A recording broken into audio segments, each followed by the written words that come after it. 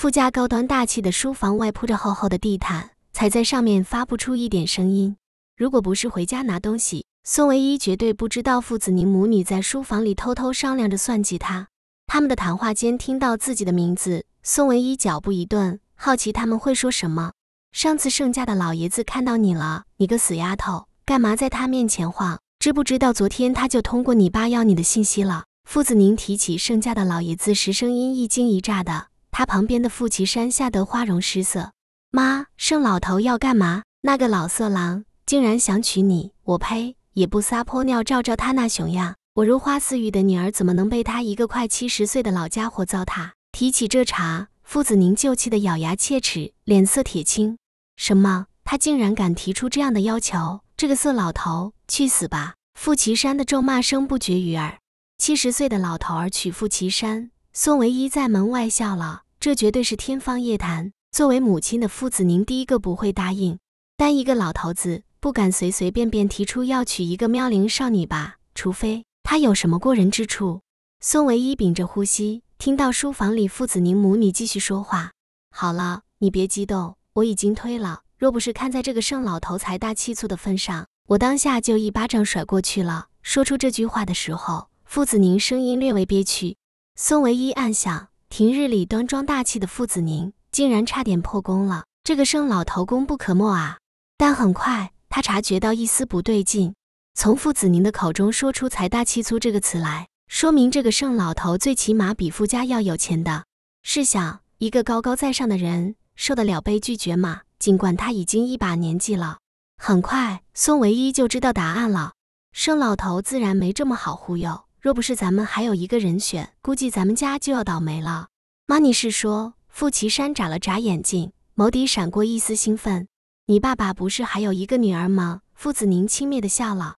隔着门，宋唯一也可想象里面傅子宁的表情，一定是得意又开怀的吧。所以为傅岐山推脱的老头子，嫁给一个足以当他爷爷的男人，这是沦落到他的身上。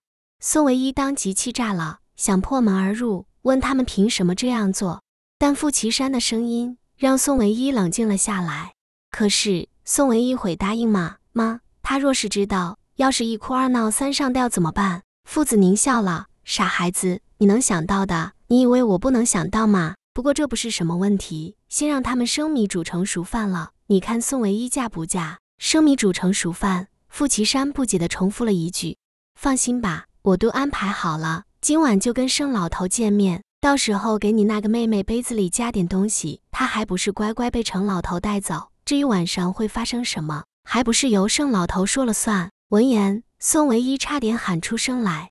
早上，傅子宁温温柔柔的给他打了个电话，让他晚上打扮一下，一家人去外面的餐厅吃饭。当时宋唯一没有多想，虽然惊讶于傅子宁的举动，却也以为真的只是吃饭。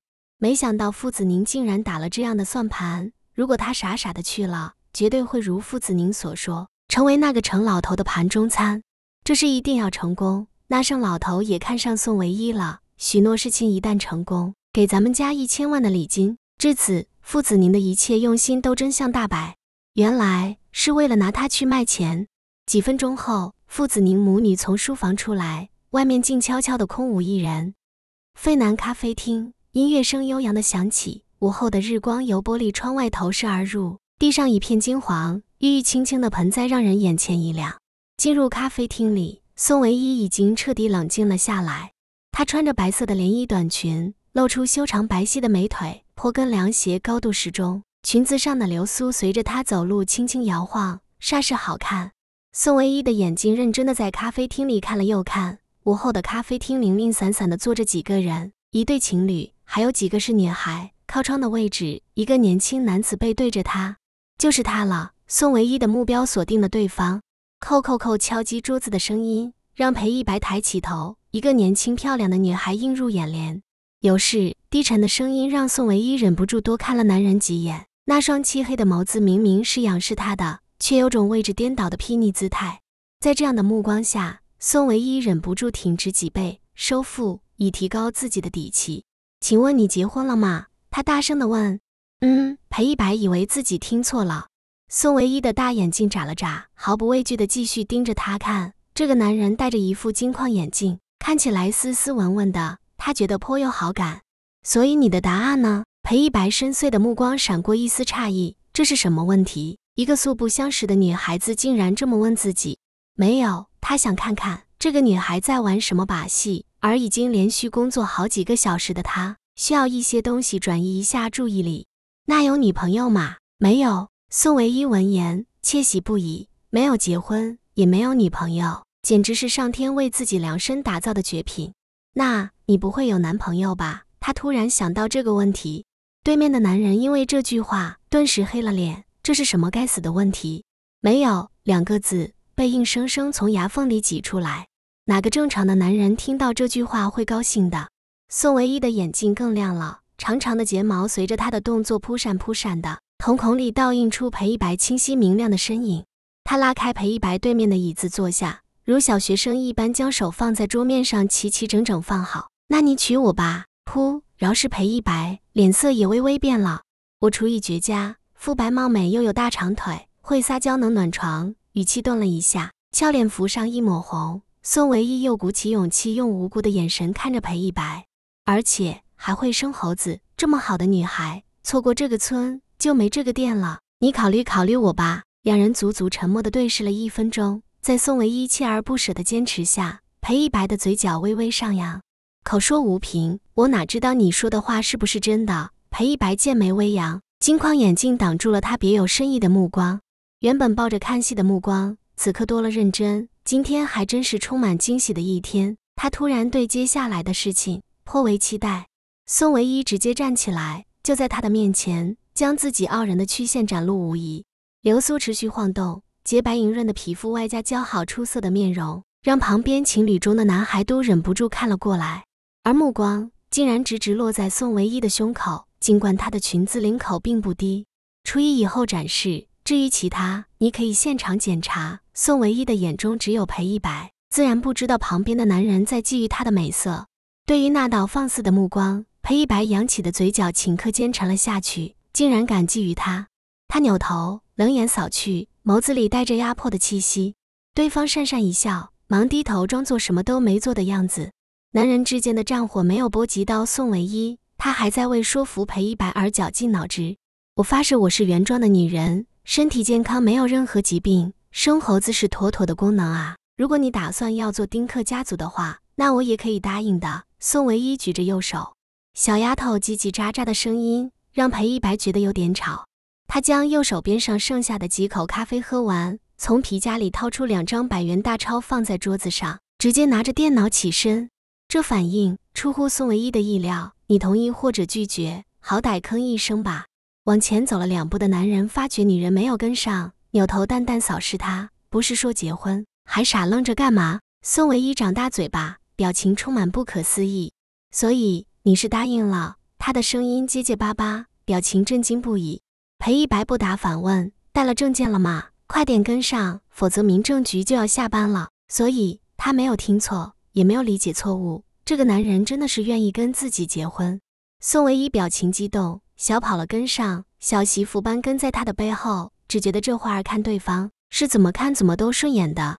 这长相斯文老实，肯定错不了。这一米八几的身高的，将简单的白衬衫穿出了性感的味道，还有这宽肩，这窄腰，这大写的行走行衣架子啊！他摸着自己的包包，户口本和身份证早就被揣得热乎乎。就等着他一声令下了。咖啡厅外，裴一白拦了一辆出租。上车前，他动作突然一顿，直勾勾地看着宋唯一：“我没有车，只有一间小小的单人公寓，还有二十万的房贷没还，不能给你买钻石项链。你还确定跟我结婚？我后悔吗？”车门半开，他斜斜倚着出租，画面太美，宋唯一光顾着看脸了。这神走的，裴一白生气了。听到我说话没有？未来的老公大人生气了，宋唯一猛然浑身以绝对恭敬的姿态点头，听到了，我愿意，我真的愿意。没有车没关系，我们一起奋斗，未来一定可以过上要什么有什么的生活。就要出来实习的宋唯一是个斗志满满的女孩，对未来有着美好的憧憬。虽然因为父子您的关系事情有了点偏差，却不影响他对未来的憧憬。裴一白闻言，表情微正，怒气早已消失不见。脸上反而多了暖意和高看。还傻愣着做什么？上车吧！他挪开步子，让宋唯一先上。这个举动让宋唯一无比受用。她的未来老公是个有绅士风度，并且尊重女性的好男人呢。民政局人不多，连等候都不需要。宋唯一和裴一白就轮到了。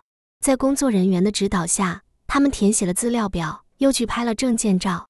咔嚓一下，快门声响，将镜头下新任夫妻定格。宋唯一微微笑着。露出两颊俏皮的酒窝，而旁边的裴一白却严肃了许多。嗯，很好看。看过照片后，宋唯一表示很满意，简直就是郎才女貌嘛。他忍不住想。拍完照的裴一白又将金框眼镜挂回鼻梁上。你不戴眼镜更好看。裴一白扭头，似笑非笑地勾了勾唇。我知道，尽管如此，却执着的任由眼镜悬在鼻梁上。应该是近视吧？宋唯一单纯的想，否则。谁会没事戴个眼镜啊？回到办事处，他们交了资料，工作人员很快审核好了。没多久，手里多了两本热乎乎的结婚证，红色的封皮上“结婚证”三个字金光闪闪。宋唯一感慨自己在这一瞬间从少女变成了妇女。他将一本递给裴一白，另一本自己揣着，翻开。原来你叫裴一白啊！抬头看着他，裴一白抿唇，小糊涂的点了点头。你好，我叫宋唯一。小姑娘伸出手，放在他面前，被裴一白注视了许久。接下来是不是该说合作愉快了？没有等来他的回握，让宋唯一颇为尴尬。但宋姑娘是能屈能伸的人，怎么会因为这点小尴尬就泄气？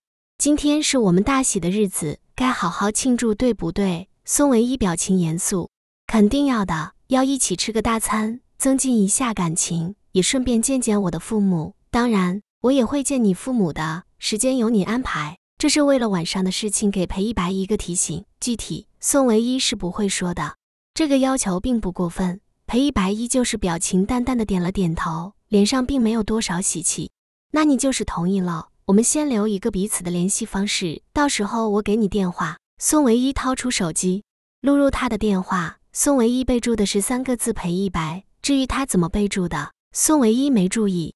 做完这一切，就在他打算走的时候，被人扯了扯衣袖，低声跟他说了两个字：“喜糖。”宋唯一两手空空，冲着对方抱歉一笑：“对不起啊，来的匆忙，忘了买，下次补上。”看着那对夫妻离去的身影，女孩欲哭无泪。不是他跟他们要喜糖，而是给工作人员发喜糖，是这里一种不成文的规矩了啊！没看到刚才办事的工作人员脸色有点黑吗？肯定是因为没吃到喜糖。经过一间小超市，宋唯一难得任性，从兜里掏出二十块买了一袋巧克力。你尝尝这个牌子的巧克力，很好吃的。他举着手凑到裴一白的嘴巴前，眼底充满期待。裴一白忍不住打量面前的女孩子，瓷白的皮肤，连丁点儿毛孔都看不到，连基本的妆容都没有化，可见底子好极。那双水汪汪的眼睛看着自己，仿佛注入一层温泉，闪着蓝色的荧光。被闪婚。还是一个连名字都是看过结婚证才知道的女孩子，本不是什么有趣的经历，可此刻她竟然并不排斥。她的手落在宋唯一的头发上，没有烫染的头发披在双肩，让宋唯一更加清新动人。我不吃糖，你吃吧。声音多了一丝不经意的温柔，脑袋上柔柔的触感，仿佛小时候爸爸摸头的动作，温柔似水。而他的语调更是加了一丝宠溺。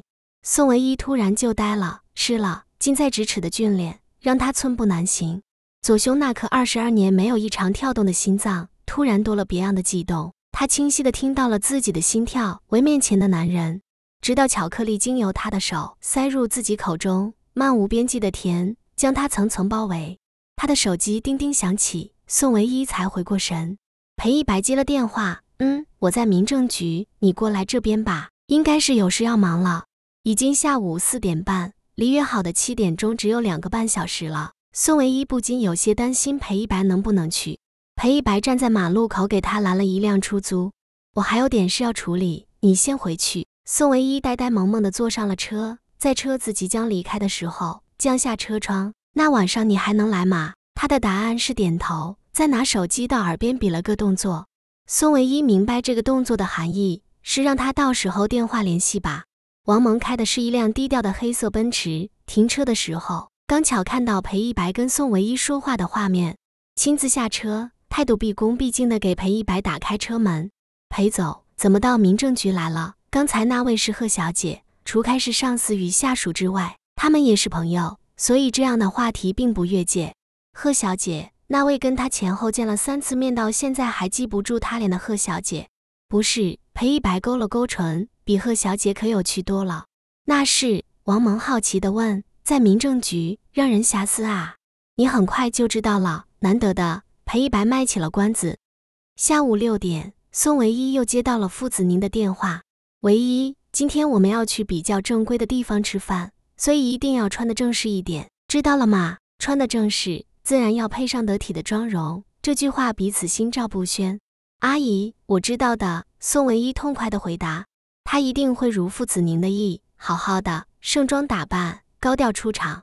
对方搬出一个这么恰当的理由，若是他不知情的话，只会傻傻的入了父子您的圈套。而现在他多了一本结婚证，身后多了一个男人，宋唯一觉得安全感顿时多了。他又拿起手机，这一次是给裴一白发信息，将地址和包厢号均发给他，不要买任何见面礼了。”我父母不喜欢那一套，你也别浪费钱。结尾处，宋唯一特地提醒。嗯，裴一白很快回了他。屏幕上只有一个字，却莫名的让宋唯一底气大增。之后，他便出发了。傅家和盛老吃饭的地方安排在天宫，是 A 市很出名的中餐馆，里面的装扮富含古典气息，所以在这里看到古典打扮或者穿着一点都不奇怪。宋唯一今晚穿的依然是裙子，外面多了一件短外套。将肩膀上的风景挡得干干净净，包厢也是极好的位置。他到的时候已经偏后，傅家人已经到齐。不，宋唯一认真的打量了两遍，才发现虽然傅修燕在场，却没有见到傅岐山的身影，而那位传说中的盛老头暂时还没到。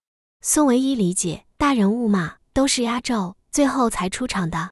他心里跟明镜一样，顷刻间明白了他们的打算，却依然装作什么都不知道的样子。爸爸、阿姨，为什么没有看到姐姐啊？不是说家人的聚餐吗？这个说辞在来之前，父子宁就已经想好了。打断了荣锦安的话，父子宁的嘴角绽放出温和的笑容，仿若慈母凝视自己的孩子。你姐姐突然身体不舒服，我就让她在家休息，别来回奔波了。横竖不过是一顿饭而已。孙唯一点头，表情关切地问：“姐姐没事吧？来之前我也没有问她，竟然不知道她身体不舒服。”去看医生了吗？傅子宁心里觉得好笑，嘴上的回答却滴水不漏。别担心，休息一下就好了。一句话将傅岐山没出席一事盖过。坐下，杯子里已经倒好了柠檬水。宋唯一担心那些东西被下到柠檬水里，自然是一口都不敢动的。爸爸，唯一，父女两人不约而同的出声。作为晚辈的宋唯一便乖乖的让荣锦恩先说话。爸爸，你说吧，我听着呢。荣锦安微笑。一会儿还有一位客人来，到时候乖乖的，别出洋相，知道吗？那位客人自是压轴人物盛老头无疑。他点头，表情纯良，如乖巧的猫儿。我知道的，爸爸。心里他在寻思，将他介绍给盛老头，到底是父子您的意思，还是爸爸的意思？前者宋唯一完全可以理解，毕竟看着他这个小三生的女儿，父子您会看顺眼才怪。若是后者，一面哄着自己。一面卖掉自己，这样的父亲才是可怕。父子宁看着这一幕，很是满意，笑容越发的灿烂。对了，刚才唯一想要说什么？荣景安的心情看来不错，主动开口问道。宋唯一抓了抓头发，荣景安的表情顿时出现不满。淑女可不会当众抓头发。他忙放下手，却傻乎乎一笑，还是先不说了，等他一会儿到了再说吧。恰逢此时，包厢的门吱呀一声被推开。一名头发半白的老头出现在宋唯一的视线中，用老头去形容对方，对也不对。除开那头上颇具代表性的半白头发之外，盛老头面色红润，笑容爽朗，看起来顶多五十几岁，跟傅子宁说的七十岁的老头还有一段距离。我来晚了，盛正国笑呵呵的开口，目光环视一圈，满意的看到坐在荣景安旁边的宋唯一。尽管第一眼看到这小女孩。不过让他更为满意的是，真人比照片更漂亮，尤其是低着头露出那一截雪白的脖颈，更让人心头颤颤。盛老说的这是什么话？我们也才刚刚到。荣景安呵呵笑，态度亲和中带着明显的恭维和卑躬屈膝。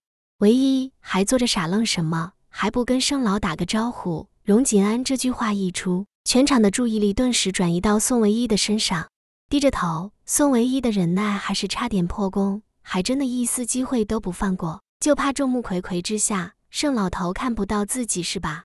不得已，宋唯一起身，转向盛老头的方向，嘴角微扬，露出八颗牙齿的标准笑容。爸爸，这可是你逼我的。盛爷爷晚上好。宋唯一眨了眨又大又水润的眼睛。乖巧的、不可思议的打了招呼，只不过这一声“盛爷爷”却让傅子宁和荣锦安的笑容凝固在嘴角。盛爷爷，这死丫头胡说八道什么？你这孩子叫盛伯伯或者盛老就好了。傅子宁右手在宋唯一的肩膀上轻拍了几下，嗔怪地说：“啊，对不起，阿姨，是我叫错了。”宋唯一忙低头，表情惶恐。傅子宁和荣锦安光顾着拉皮条，又怎么会知道？特地将他牵出来刷脸，让他先跟盛老打招呼，这个举动就已经暴露了很多信息。没事，小孩子的笑谈而已，别往心里去。宋唯一闻言，心里狂吐槽：盛大爷，既然你也知道我是小孩子，你怎么好意思提出那么变态的要求？坐下不久，一溜服务员捧着盘子鱼贯而出，刚刚推开门的那一瞬，宋唯一就闻到了浓郁的菜香，足足十二盘，配上极为高档的红酒。盛老坐在最正中的位置，左手边是宋唯一，右手边是他的姨母哥哥傅修燕。这样的安排本来极不合理，但因为是盛老要求，说是跟两个年轻的孩子说说话，于是变成了这样的排位。唯一，别傻愣着，给盛老倒酒。荣锦安迫不及待的命令。是的，爸爸。宋唯一咬牙，这孩子真是乖巧可人。这么多年，我也一直想要一个女儿，无奈没有达成我的愿望，造化弄人啊。宋唯一手一抖，红酒顿时哗啦啦的洒到正在说话的盛老衣服上。啊！宋唯一自己吓傻了，拿着瓶子半晌不会动，液体还在哗啦啦的往下涌。这一幕让荣锦安气得差点吐血。唯一，快点把瓶子移开！没看到把盛老的衣服淋湿了吗？怎么这点小事都做不好？荣锦安起身，英俊的脸上被怒气取代。爸爸，对，对不起，都是我不好，我手笨。宋唯一被吓得花容失色，眼眶红红，带上了哭腔。你确实笨，你看把盛老的衣服弄成什么样了？最淡定的莫不过盛老了。在其他人或者是紧张或是生气的情况下，盛老连吭都没吭一声，只是借此机会打量宋唯一和荣锦安。这到底真的是意外，还是他们父女商量出来的意外？难道荣锦安并不愿意把这个女儿嫁给他？盛老在心里冷笑，不愿意。当初父子宁可是答应的好好的，若是他们那边敢反悔，他有千万种办法让他们后悔。好了，别责怪这孩子，看他都快哭了。盛老起身，怜香惜玉的拍了拍宋唯一的肩膀。隔着布料，他这举动还是让宋唯一感觉很不舒服，而他此刻也庆幸自己有先见之明，穿了小外套出来，不过是把衣服打湿了而已，我去换一件便是。盛老一离开。荣锦安因为他的安抚而冷静下来的情绪再度暴涨起来。啪的一声响，是荣锦安拍桌子的响声。唯一，你是不是故意的？这种低级错误，手段拙劣，你别以为我看不出来。手段拙劣。宋唯一颤颤巍巍的摇头。爸爸，你说的都是什么话？我为什么要故意的？那个盛伯伯一看就是大人物，我故意去得罪他，不是自找死路吗？再说了，我有什么理由故意？这句话说者无心，听者却有意。有，当然有理由，比如不愿意嫁给盛老呢。荣景恩忍不住反思：难道被这丫头看出了什么？不应该啊！好了好了，都是意外，你别怪唯一了。父子宁解围，唯一，盛伯伯确实是不能得罪的大人物，所以接下来一定不能再犯什么错误，知道了吗？说到这里，气势已经有着隐隐的压迫和凌厉。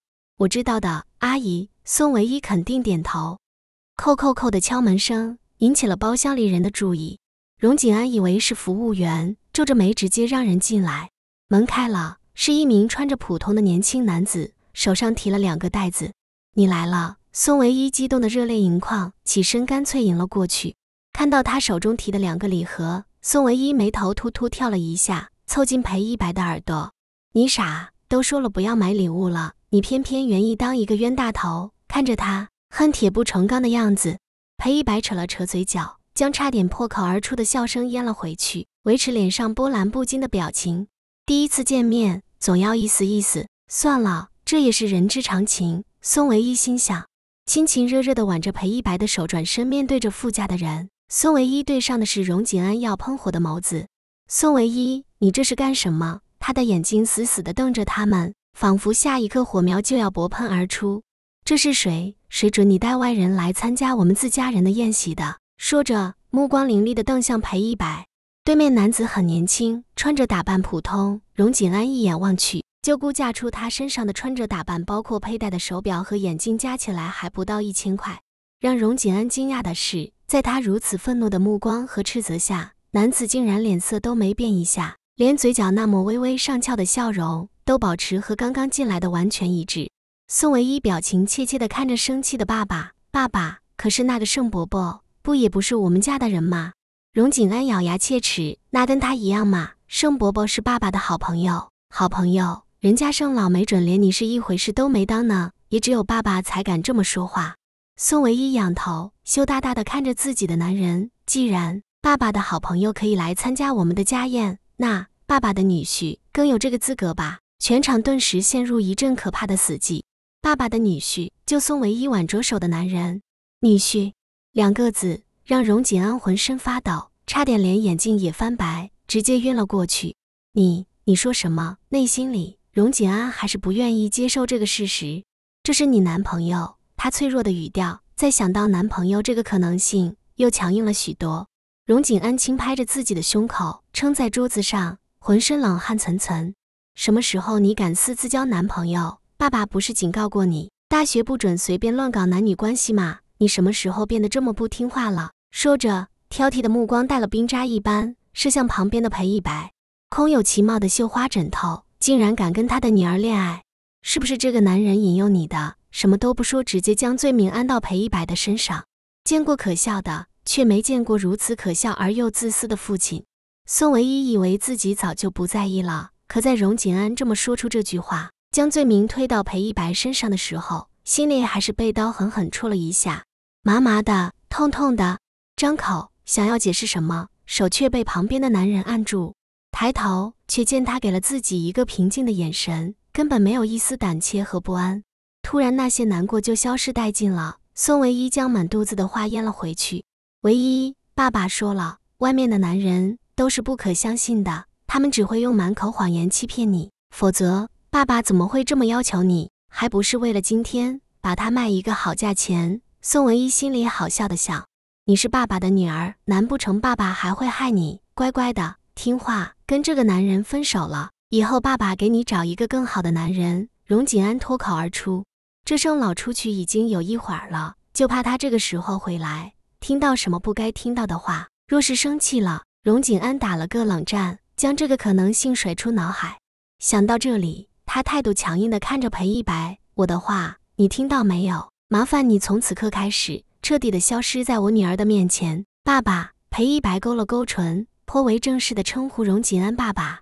什么爸爸？这两个字可以乱叫的吗？你给我注意用词，否则我跟你不客气了。荣锦安恼羞成怒，听到我的话没有？立马滚出去，否则别怪我心狠手辣了。今天开始你们断绝来往，否则我会让你付出代价。荣景安下了最后的通牒，一千万跟一千块相比，傻子都知道该选哪一个。宋文一勇敢地站了出来：“爸爸，你说现在嘛，这不是废话。”荣景安咆哮：“可是这会儿民政局下班了呢，明天是周六，他们也不上班。就算是最快，我们也要下周一才能离婚呐。民政局离婚这两个字，彻底的让荣景安失去了理智。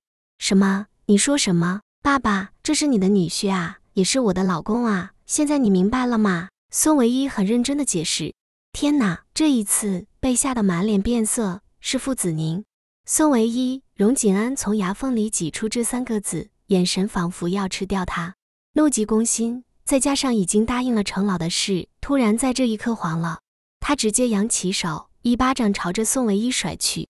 我叫你跟不知名的男人恋爱结婚，我叫你不过问父母，不尊重长辈。今天不好好教训一下你，简直不知天高地厚了。他的手高高抬起，朝着宋唯一猛地扇了过来。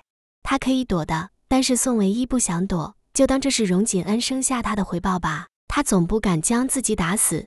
闭着眼，宋唯一静静等候巴掌的到来。半晌之后，依然没有等到，他不禁睁开眼。不知何时，眼前多了一双洁白修长的手，正牢牢地捏住荣锦安的手。他愣愣地看着这一幕，半晌回不过神。你干嘛？反了！你是什么货色，竟敢阻止我？荣锦安挣脱不掉，脸呈现猪肝红的颜色，恼羞成怒。他面前的裴一白表情再平静不过。爸爸有什么火冲着我来便是，何必动手？再说依依是女孩，这一巴掌下去，定会伤了她的心。平静的语气，外加冷淡的表情，明明有些孤傲，却让人心头发颤。冲着你来，好啊，我倒要看看何方神圣，竟敢这么诱拐我的女儿。荣锦安被驳了面子，此刻从里到外都要气炸了，正愁没地方发泄。爸爸，你有火就冲着我发好了，不关一百的事。孙唯一第一次被一个名为老公的生物维护，心里暖意融融，自然不忍裴一白被荣锦安责备甚至打骂。荣锦安用力蹬过去，一会儿我再收拾你。将宋唯一推开，咬牙切齿地看着裴一白。此刻自己的右手腕骨还阵阵生痛，看到这个女婿的脸，更是提醒他刚才发生了什么事。正当荣锦安要教训裴一白的时候，包厢门被推开，一身新衣的盛老再度出现。不好意思，让你们久等了。爽朗的笑声在看到裴一白的时候戛然而止，粗眉。这富家不是只有一个儿子吗？这个又是谁？难不成又是荣锦安的私生子？爸爸，有客人来了，你有什么火，不妨一会儿再发，别让可人见笑才是。用眼角的余光扫视了一眼，看到盛老以及荣锦安逼迫他跟宋唯一分手，裴一白几乎瞬间就明白了情况。盛振国，圈内出了名的花心，情人无数，娶过好几任妻子，结果是要么疯了，要么死了。如果宋唯一真的嫁给他，岂不是被逼上绝路？裴一白眼底闪过一丝厌恶，好一个衣冠禽兽的父亲！荣锦安的脸色一颤一颤，白里透青，指着他们，根本说不出话来，心里悔恨不已。早知道，怎么也该先将这个男人赶出去。现在盛老又在这里，想到这里，表情恍惚了一下，指着门口的方向，带着命令式的语气：“有什么事，回家再说吧。你回去家里等我。”想将裴一白支开，然后继续商讨卖掉他的事。宋唯一的脑袋灵光的转动，亲昵的挽住他的手，站在他身边，小鸟依人。爸爸，没事的呢，反正都是家宴，就让一白也参加嘛。我知道我跟一白的事情让爸爸不开心，可是可怜兮兮的语气在这一刻停下，仰头，目光闪闪，带着泪光，崇拜而又爱慕这个恍若天神的男子。此刻站在他的旁边，他前所未有的底气十足。他们的目标是找盛老这样的有钱人，将自己卖掉换钱。他偏不如他们的意，找一个跟他们想象中截然相反的男人，让他们竹篮打水一场空。在他这里，什么都图不到。可是我是真的爱他，而他也是爱我的，所以我们才决定结婚。爸爸，不管如何，他已经是你女婿，这是既定的事实啊！难道你一定要逼着我们离婚吗？到了后面，已经换为哭腔。眼泪在他说完这段话后一分钟拼命的眨了好多次，并且在大腿上掐了几下，才勉强涌出来。早知道就该在袖口抹点辣椒，就方便多了。听到娇妻如此情真意切的告白，裴一白忍不住抽了抽额头。那个小女人还阴气的看着自己。至此，盛老师怎么也听出来裴一白不是荣锦安的私生子，而是他的女婿了。但宋唯一觉得料还不够猛。他将手放在平坦的小腹，轻柔的抚摸，脸上突然多了一丝母性的光辉。爸爸，这里或许已经有你的外孙了，难道你忍心看着他一出世就没有父亲吗？我深受这样的痛苦十年。小时候，我是如此的渴望见到您，如此的希望每次放学您会站在学校外面等候我回家。后面这句话倒是真的。小时候的宋唯一也是个知道渴望父爱的孩子，可是每每这样的期待。都被现实击落的分文不剩。等被荣锦安接回父家，他已经十岁，懂事了，不再渴望那遥不可及的父亲了。荒唐！荣锦安只注意到第一句，而没有听到后面那句宋唯一的心声。看到旁边程老的脸阴了下来，荣锦安吓得肝胆发颤。若是盛老生气了，他们的日子绝对不会好过。盛老都是孩子小不懂事，跟我闹脾气呢？今天这事是意外，我明天绝对给你一个满意的答复。也就是这顿别有用心的盛宴需要提前结束了，因为荣锦安要跟宋唯一算账，当然裴一白也在内。家宴不欢而散，荣锦安黑着脸命令宋唯一回家，他牵着裴一白的手，无比悠哉的落在最后。男人的手掌宽大。包裹着他的小手绰绰有余，来自于新婚老公的牵手。在下午之前，他们甚至是彻彻底底的陌生人，可此刻竟然怪异的牵着手。关键是，相较于他冰冷的手，裴一白的手温暖干燥，带着浓浓的呵护气息，让宋唯一讨厌不起来。我亲爱的老婆，或许你该跟我解释一下刚才的事情。原本以为裴一白话少，一直沉默的回去，却没想到他毫无预警的问了这么一个棘手的问题。宋唯一的悠哉顿时有要下降的趋势。哎，不过你爸爸的反应也算是在意料之中，毕竟咱们结婚太冲动。或许，或许两个字让宋唯一感觉很不好。或许什么？或许他们不适合，所以老公要跟自己离婚。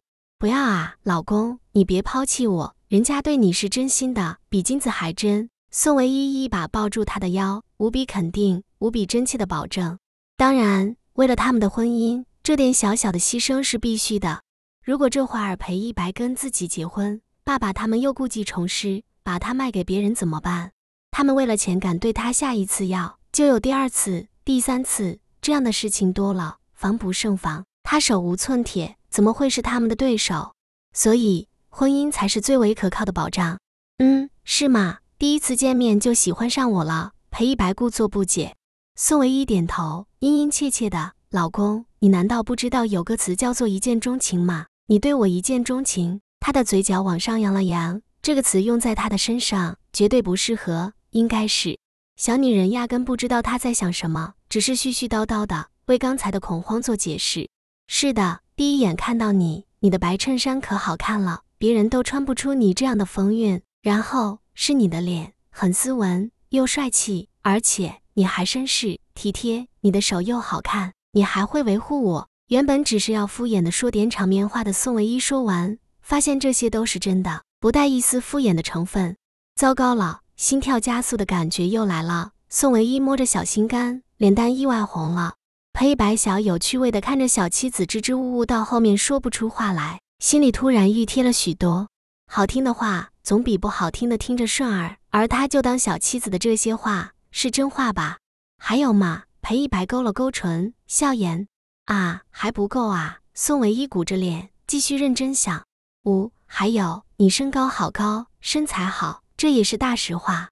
一米六五的他不算特别高，却也不矮，但站在裴一白的身边还是矮了一大截，顿时就有小鸟依人的感觉了。至于身材好，裴一白的笑容也深了几分。这是看了我多久之后才得出来的结论。我没穿衣服的样子，你还没看过吧？”压低声音，凑到小妻子的面前，轻轻吹起。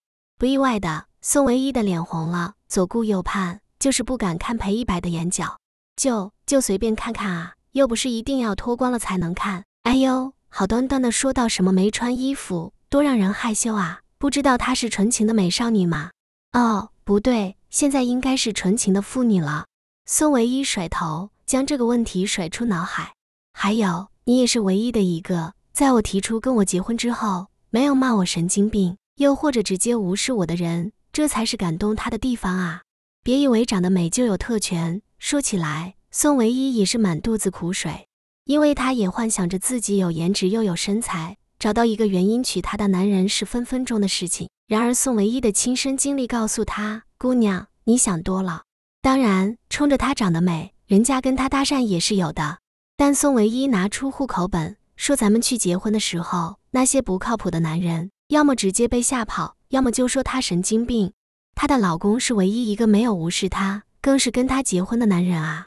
尽管已经过去半天，宋唯一想到这些，还是忍不住心头温暖，眼泪汪汪的看着自己的老公，是他，就是他了。所以，老公，你一定不能抛弃糟糠之妻啊！我对你忠心不二，此心天地可见啊！宋唯一改而抱着他的手臂。糟糠之妻，裴一白的目光定定地看着对面的俏脸。宋唯一捂脸，霸道地将头埋进他的胸口。反正不能抛弃我，呜呜呜呜！爸爸生气了，你看他就差打我了。如果你都不要我了，那我接下来电视上一哭二闹三上吊的女主怎么演来着？哦，哭了也闹了，就该玩上吊了。宋唯一低着头咧嘴，干好半天的眼睛没见着一点眼泪，那我就只好寻求一死，以求解脱了。呜呜呜，怎么那么可怜？突然，他的下巴被人轻轻捏住，迫不得已抬起头。男人目光闪闪，嘴角带着勾人的弧度，深邃迷人的眼睛中倒映出他的俏脸。他的手指在宋唯一的眼睛轻轻滑动，指腹温温的，一层细细的茧让宋唯一感觉这一刻仿佛被撩拨了皮肤。骨子里有种奇怪的瘙痒感。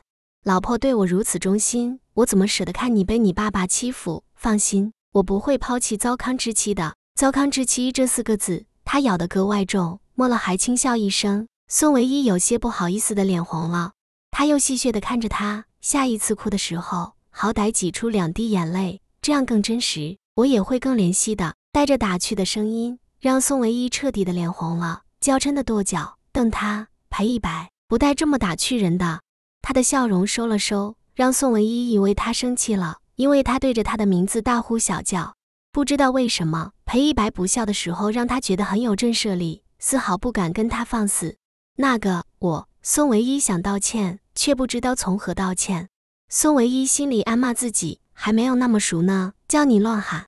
我更喜欢你叫我老公。裴一白压低声音。宋唯一抬头，表情愕然，还以为他是生气了。没想到说出这种如此厚脸皮的话，竟然是表里不一的主儿啊！好了，走吧。你爸爸瞪着我们，眼神快化成冰刀了。前方的傅子宁和荣锦安走路的脚步都在发抖。锦安，你一定要想办法把这事情弄清楚啊！刚才盛老的脸色难看极了，他若是真的因此而生了咱们家的气，那我们还有好日子过吗？说话间，傅子宁的语调已经带上哭腔，一半是做戏，另一边也确实是害怕。盛老的名声在外面传的有多难听，这个圈子的人都知道。而跟他花心一样出名的，则是他暴力的性情。所谓是无风不起浪，若不是掐油其事，怎么会有这样的传言出现？唯一，他是不是早就知道了什么？荣锦安闻言，脚步一顿，语气坚决的否认：“怎么可能？我没有跟他提起这些，你还会特地跟他说这个？答案是不可能。傅子宁没有这么好心，那他怎么会知道？”他绝对是知道了。傅子宁很认真的回想了一遍，越发肯定，他又是故意把酒倒在盛老的身上，又是跟别人结了婚，就是不想嫁给盛老啊！你这个女儿竟然这么有心机！他不但婉言推拒了这门亲事，还让我们得罪了盛老，我们怎么办？荣锦安也心烦不已，脑袋里程老阴沉沉的脸色还没消去，傅子宁这个时候提起他，更是心烦意乱。好了，这事过花儿再说吧。让我想想该怎么处理。傅家客厅装扮富丽，选取的明黄的夸张色调，墙壁上挂着明清大师的山水画，当然仿的。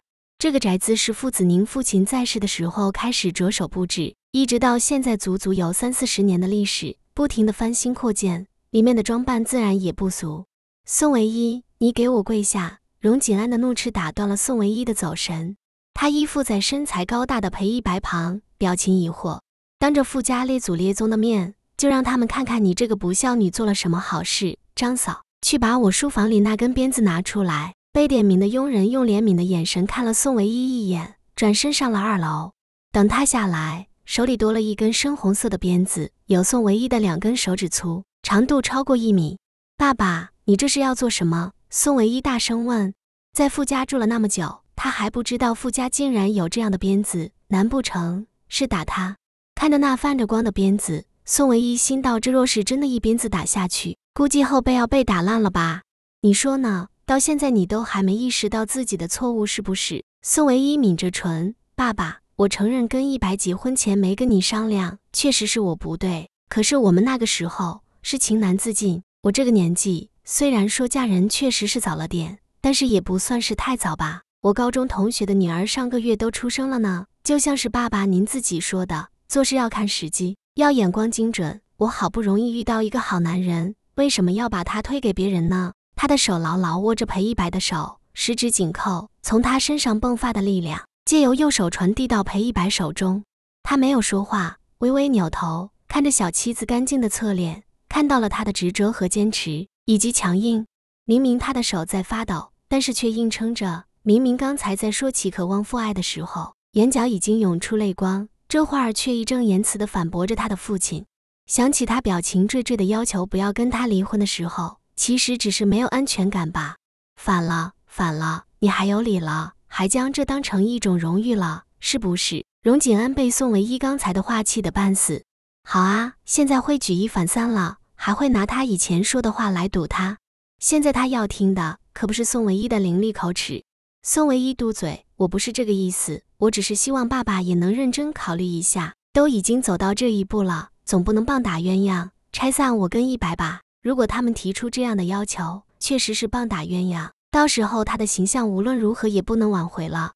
盛老那边很棘手，这边却也不能完全不顾。”荣锦安很快想了明白，按照之前的计划，神不知鬼不觉地将宋唯一送到盛老床上，发生了点什么之后再结婚的话，算是顺理成章。但现在先不提计划不顺利，而宋唯一更是成了有妇之夫，无论如何不能按照原本的计划了，否则他的女儿要闹个鱼死网破的话，整个傅家都跟着倒霉。想到这里，荣锦安狠狠地吸了口气，一屁股坐在主位的沙发上。冰冷的目光射向裴一白，却没再发火。叫裴一白是马，家在哪里，个人情况如何？这种问题，荣景安一点也不拐弯抹角。这话一出口，宋唯一就有种糟糕的感觉，因为裴一白的履历可没有盛老那么光鲜，爸爸一定会嫌弃的。当然，爸爸嫌弃不要紧，他不嫌弃就好了。问题是，他怕伤害了老公的自尊心啊！哪有岳父这样对自己女婿的？爸爸，时间不早了呢。您早点休息吧，咱们明天再说。宋唯一殷勤地站了出来，嘿嘿干笑。才九点多，时间怎么就不早了？我跟裴一白说话，你插什么嘴？荣锦安瞪了他一眼，带着警告的眼神。宋唯一自然看懂了他的意思，但是相比起得罪自己父亲，弟他更愿意维护着裴一白啊。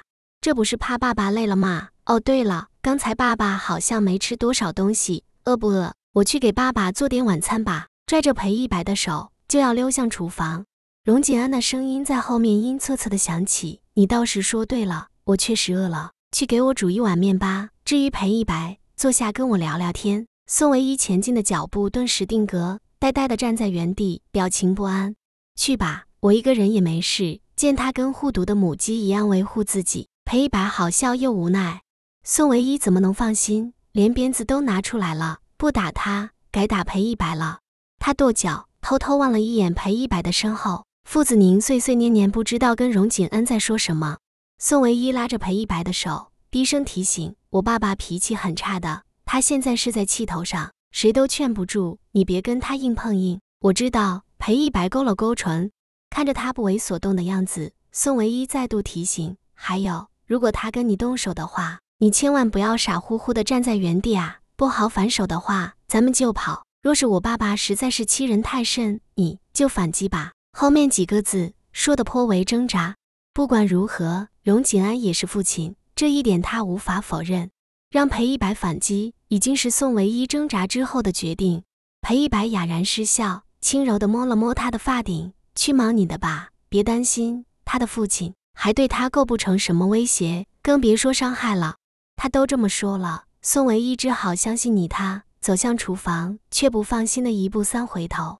荣景安指着自己对面的位置，坐下说话吧。家里还有谁？都说清楚。他的动作充满轻蔑，因为裴一白的医治让荣景安没将他当一回事。而他盘踞 A 市这么多年，也没听过什么裴一白这个名字，肯定不是有钱的人。裴一白仿佛看不到荣景安的面试，淡定的坐下，回答他问题的语速依然不疾不徐。下面还有一个弟弟，一个妹妹。若是正常的情况，荣锦安作为父亲，自然该好好的进行这个话题。但这会儿他心里还装着怒气，只想着速战速决。家中老大，你也不小了吧？上面还有两个年迈的父母，那你在 A 市的有房有车吗？房子多大？开什么车？荣景安朗笑着问。厨房里，宋唯一心神不宁，他只是站在旁边给张嫂打下手。对于那个清俊气度不凡的男人，张嫂很是好奇。二小姐。那位先生是谁啊？你说一白啊？名字叫一白，真好听，而且长得也好看。二小姐，你真有眼光。张嫂笑的眼睛眯成一条线。对啊，我老公嘛，自然是别具一格的。宋唯一听到人家夸赞，也觉得自己了不得，心情刚刚愉悦了一下，客厅里哐当一声的巨响，让宋唯一吓了一大跳。怎怎么了？他结结巴巴地问张嫂。不放心裴一白，自己直接冲了出去。地上静静躺着一个碎掉的紫砂壶，里面的热茶水涌到周围，湿了一片。爸爸，发生什么事了？宋唯一小跑出来，视线第一个注意的就是裴一白。难道爸爸跟他动手了？爸爸仗着身份欺负她老公？宋唯一想到这里，一颗心紧揪的要命。你没事吧？哪里受伤了？拉着裴一白的手，宋唯一焦急地问。上下打量了一圈，发现男人一点事儿都没有。没事，怎么出来了？我听到一阵巨响，啪！宋唯一刚说着，就被荣锦恩一把拧住手腕，从裴一白的身边扯开。哎，爸爸，你干什么？放开我！你捏痛我了。以前爸爸说不上太疼爱自己，但是好歹也没有过打骂的吧？现在偏偏等他成人之后还这样，他多丢脸啊！也间接反映荣景安被气急了，狗急跳墙。我看你就是欠虐，脑子不清醒，否则怎么会跟这种男人结婚？丢我的脸！荣景安将话说得很难听。爸爸，你别这样。宋唯一拉下来，这种男人怎么了？怎么丢他的脸了？自力更生，孝顺父母。有爱兄弟，长相端庄老实，勤奋绅士，别人打着灯笼还找不到呢。唯一还有裴一白，你们给我听好了。荣景安甩开宋唯一，他爹坐到沙发上，好歹避开了那滩滚烫的热水。你们的事情我不会同意的，要么下周一去民政局办离婚，要么你不认我这个父亲，你自己选择。没房没车的男人竟然妄想癞蛤蟆吃天鹅肉，简直是不自量力。又或者。这个裴一白看到唯一是他的女儿，以为娶了唯一就可以娶到一座金山，少奋斗二十年了，做吗？爸，孙唯一停止挣扎，呆呆地看着面前陌生的父亲。就算是被他设计出卖，他也没想过不认这个父亲，却万万想不到荣景安会这样说。叫爸也没有用，裴一白，我的女儿是娇养着长大的，你确定你一个没房没车的大龄青年能给她幸福？不要说什么爱情至上的空话，没有钱什么都是狗屁。宋唯一爬起来，坚定地站在自己男人的这一边，振振有理反驳：“怎么不能了？钱又不是万能，我们一起努力就可以了。”爸爸，你太主观太果决了，你给我闭嘴！被打断的荣锦安很不爽，被自己的女儿拆台，是还嫌不够乱吗？你现在是被爱情蒙蔽了眼睛，没吃过苦，所以不懂苦的滋味。唯一啊，唯一，我敢保证，你跟他过一周。那样的日子你就会崩溃。这句话，荣锦安说的无比笃定。他虽然没有像疼爱傅岐山一样宠爱小女儿，但是从小对小女儿也是颇为阔绰大方的。尽管无法跟大女儿相比，但宋唯一的生活也过得挺滋润了。宋唯一听到这里，眼底闪过一层光亮，也不再挣扎了，定定地看着自己的父亲。爸爸，你说的是真的吗？绝对是。那么，爸爸就给我和一白一个星期的时间。如果真的如爸爸说的那样，我无法忍受，那么我立刻跟他离婚，乖乖听从爸爸的安排，如何？宋唯一挑了挑下巴，旁边刚要说话的裴一白闻言，默默将喉咙里的话咽了回去。一星期的证明时间，荣锦安有些犹豫。他的本意是直接逼迫他们离婚，养大一个女儿不容易，就这么赔进去，他心有不甘。但若是直接拆散他们，他的逆反心理估计会更重。更不愿意给这个穷小伙分手，关键还是要看他心甘情愿。迟疑的荣锦安想到这一点，不同意顿时变为同意。他就不信那个邪。既然你这么提了，那爸爸就成全你。他冷眼看了裴一白，冷笑连连。原本以为会闹得更严重的宋唯一，一颗心松了许多。事情比自己想象的好一点。一个星期，别说一个星期，就是一年、十年、一辈子，只要是自己想要的生活，他都可以坚持。不是享受。当晚，宋唯一就在傅家收拾了自己的东西，直接离开，跟着裴一白走了。傅家的别墅在 A 市的别墅区，晚上很少人，别说公交了，连个出租都叫不到。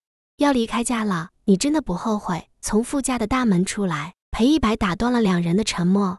月光下，宋唯一的眼神明亮而有神，仿佛黑暗星空中最亮的那颗星，看的人没有一丝抵抗力。不后悔。我不能给你富足的生活，还有一堆的欠债，未来会很辛苦。如果你继续留在这里，你依然是千金小姐，衣来伸手饭来张口。宋唯一白了他一眼，气喘吁吁地将行李箱推往前拉。我又不是残废，为什么要衣来伸手饭来张口啊？我自己有手有脚，自己努力的才是真的。在这里再富有，也是阿姨的，甚至连爸爸的都不是。他自嘲一笑，再富有，这里也不过是金丝笼而已。他不要被折断翅膀。我说了，我认定你了，就是真话。你尽管看着我的决心，抬高下巴。孙唯一坚决地表示，认定你了，算不算情话？裴一白接过他的行李箱，另一只手扣住他的手。既然如此，走吧。第一次听这样的情话，并不算糟糕，感觉还不错。所以你不再劝我回家了？孙唯一开心地问。你是我老婆啊，我老婆自然是回我家，不是吗？裴一白好心情的解释。孙唯一了然点头。对哦，都差点没反应过来。只不过被他承认，怎么心情就能这么美呢？那我们现在回哪里？你住的哪里？等一下，离外面太远了，我们要走半个多小时呢。我叫个滴滴打车。说着，拿出手机鼓捣叫出租。而裴一白也猛然醒来，似乎住宅这种事，他也还不清楚。叮咚一声，短信声响起。裴一白拿出手机，王萌发来的短信：老大，你的新住址已经按照你的要求装扮好了。时间比较仓促，所以这才到现在才给你信息。他却忽略王蒙前面的废话，落在最后一行字上：塘西路同里小区三栋五百零三。宋唯一开心的挂了电话，已经跟一位师傅约好了，再过两分钟他就能到。裴一白点头，去那边坐着吧。穿的那么少，冷不冷？看到宋唯一光洁的肩膀，忍不住皱眉。虽然是夏夜，但这边山风呼啸，她一个女孩子，不冷不冷。啊，就是这辆车，我们先回去吧。上了车，裴一白淡淡的告诉师傅：“唐西路同里小区有了自己的新家。”宋唯一心情好到爆，根本没有被设计和陷害的烦恼。推开门，屋子里黑蒙蒙的，他在墙壁上摸开关没摸到，提高声音问背后的裴一白：“这房子的开关不在门这里的吗？”裴一白一怔，很快反应过来：“嗯，哦，在哪呢？我拿手机找找。”片刻后，灯开了。客厅里摆放着一组简单的单色沙发，空间不算大，但是装扮大方。我要好好的参观一下我的新家，行李就交给你啦。孙唯一甩下一句话，高高兴兴的跑了，手里的粉色行李箱有些烫手。裴一白从路上到此刻还真的我没有看出小妻子对这个坏境的一丝排拒，有些无语。还参观？他将行李箱拉到卧室，一张大床，一个衣柜以及一张书桌。环境真好，可以看到清河的对岸呢，棒极了！门口，宋唯一无比雀跃的声音传入裴一白的耳膜。他随手将行李箱放在一旁，眸子扫了小妻子一眼，不觉得很小吗？小家伙忙使劲摇头，不会啊，我们住刚刚好，房子大了可难打理了，多不方便啊！说着，拍了拍自己的右手，又拍了拍左手。他可是立志要做三好女人的典范，一定会很认真的收拾房子的。再定眼一看，对面的大床，房子被收拾的一丝不苟，连床上的被子也被叠得整整齐齐，真是太意外了。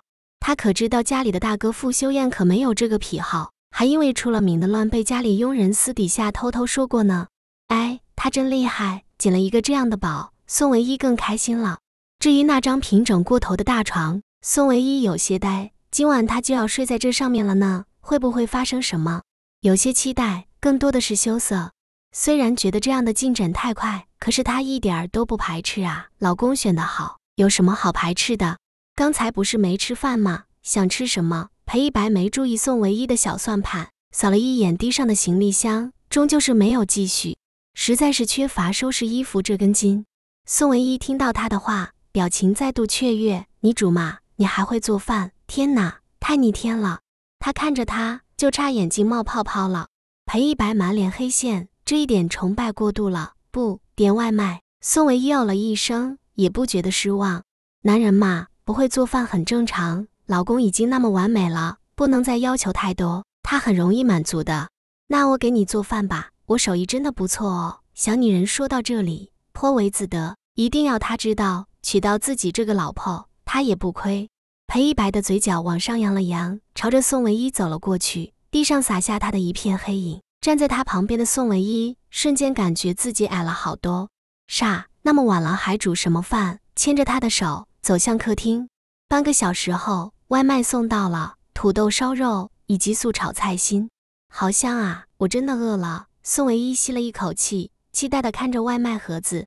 中午他就开始奔波，午餐吃了一点儿没胃口，而晚餐是没有机会吃。现在是真的饿了，加上心情好，吃什么都香。简单的两个菜被他吃成了山珍海味的味道，连裴一白都因为他而胃口好了不少。我来收拾这些垃圾，你去洗澡吧。饭后，宋唯一主动提出这个要求。他把房子简单的收拾了一下，坐在沙发上，有了一种别样的归属感。这就是他以后的家了啊！宋唯一听着浴室里淅淅沥沥的水声，小心脏如雷击鼓。一会儿会发生点什么呢？他会不会跟电视演的一样壁咚自己？哎呀，想想就好害羞。宋唯一，你脑子进颜料啦？想什么呢？脸那么红。浴室的门哐当一下开了，头发还在滴水的裴一白穿着睡衣走了出来。宋唯一正想入非非中，被他打算，吓了一跳。啊，你怎么那么快洗完了？一点动静都没有哦。宋唯一拍着胸口，视线却情不自禁的抬高，空气中多了一丝沐浴露的清香。灯光下，裴一白越走越近，尤其是刚刚出浴的样子，实在是太性感了。还没动静，你没听到？裴一白诧异地看着他。房子的隔音效果不算很好。宋唯一反应过来，忙结结巴巴点头，听听到了。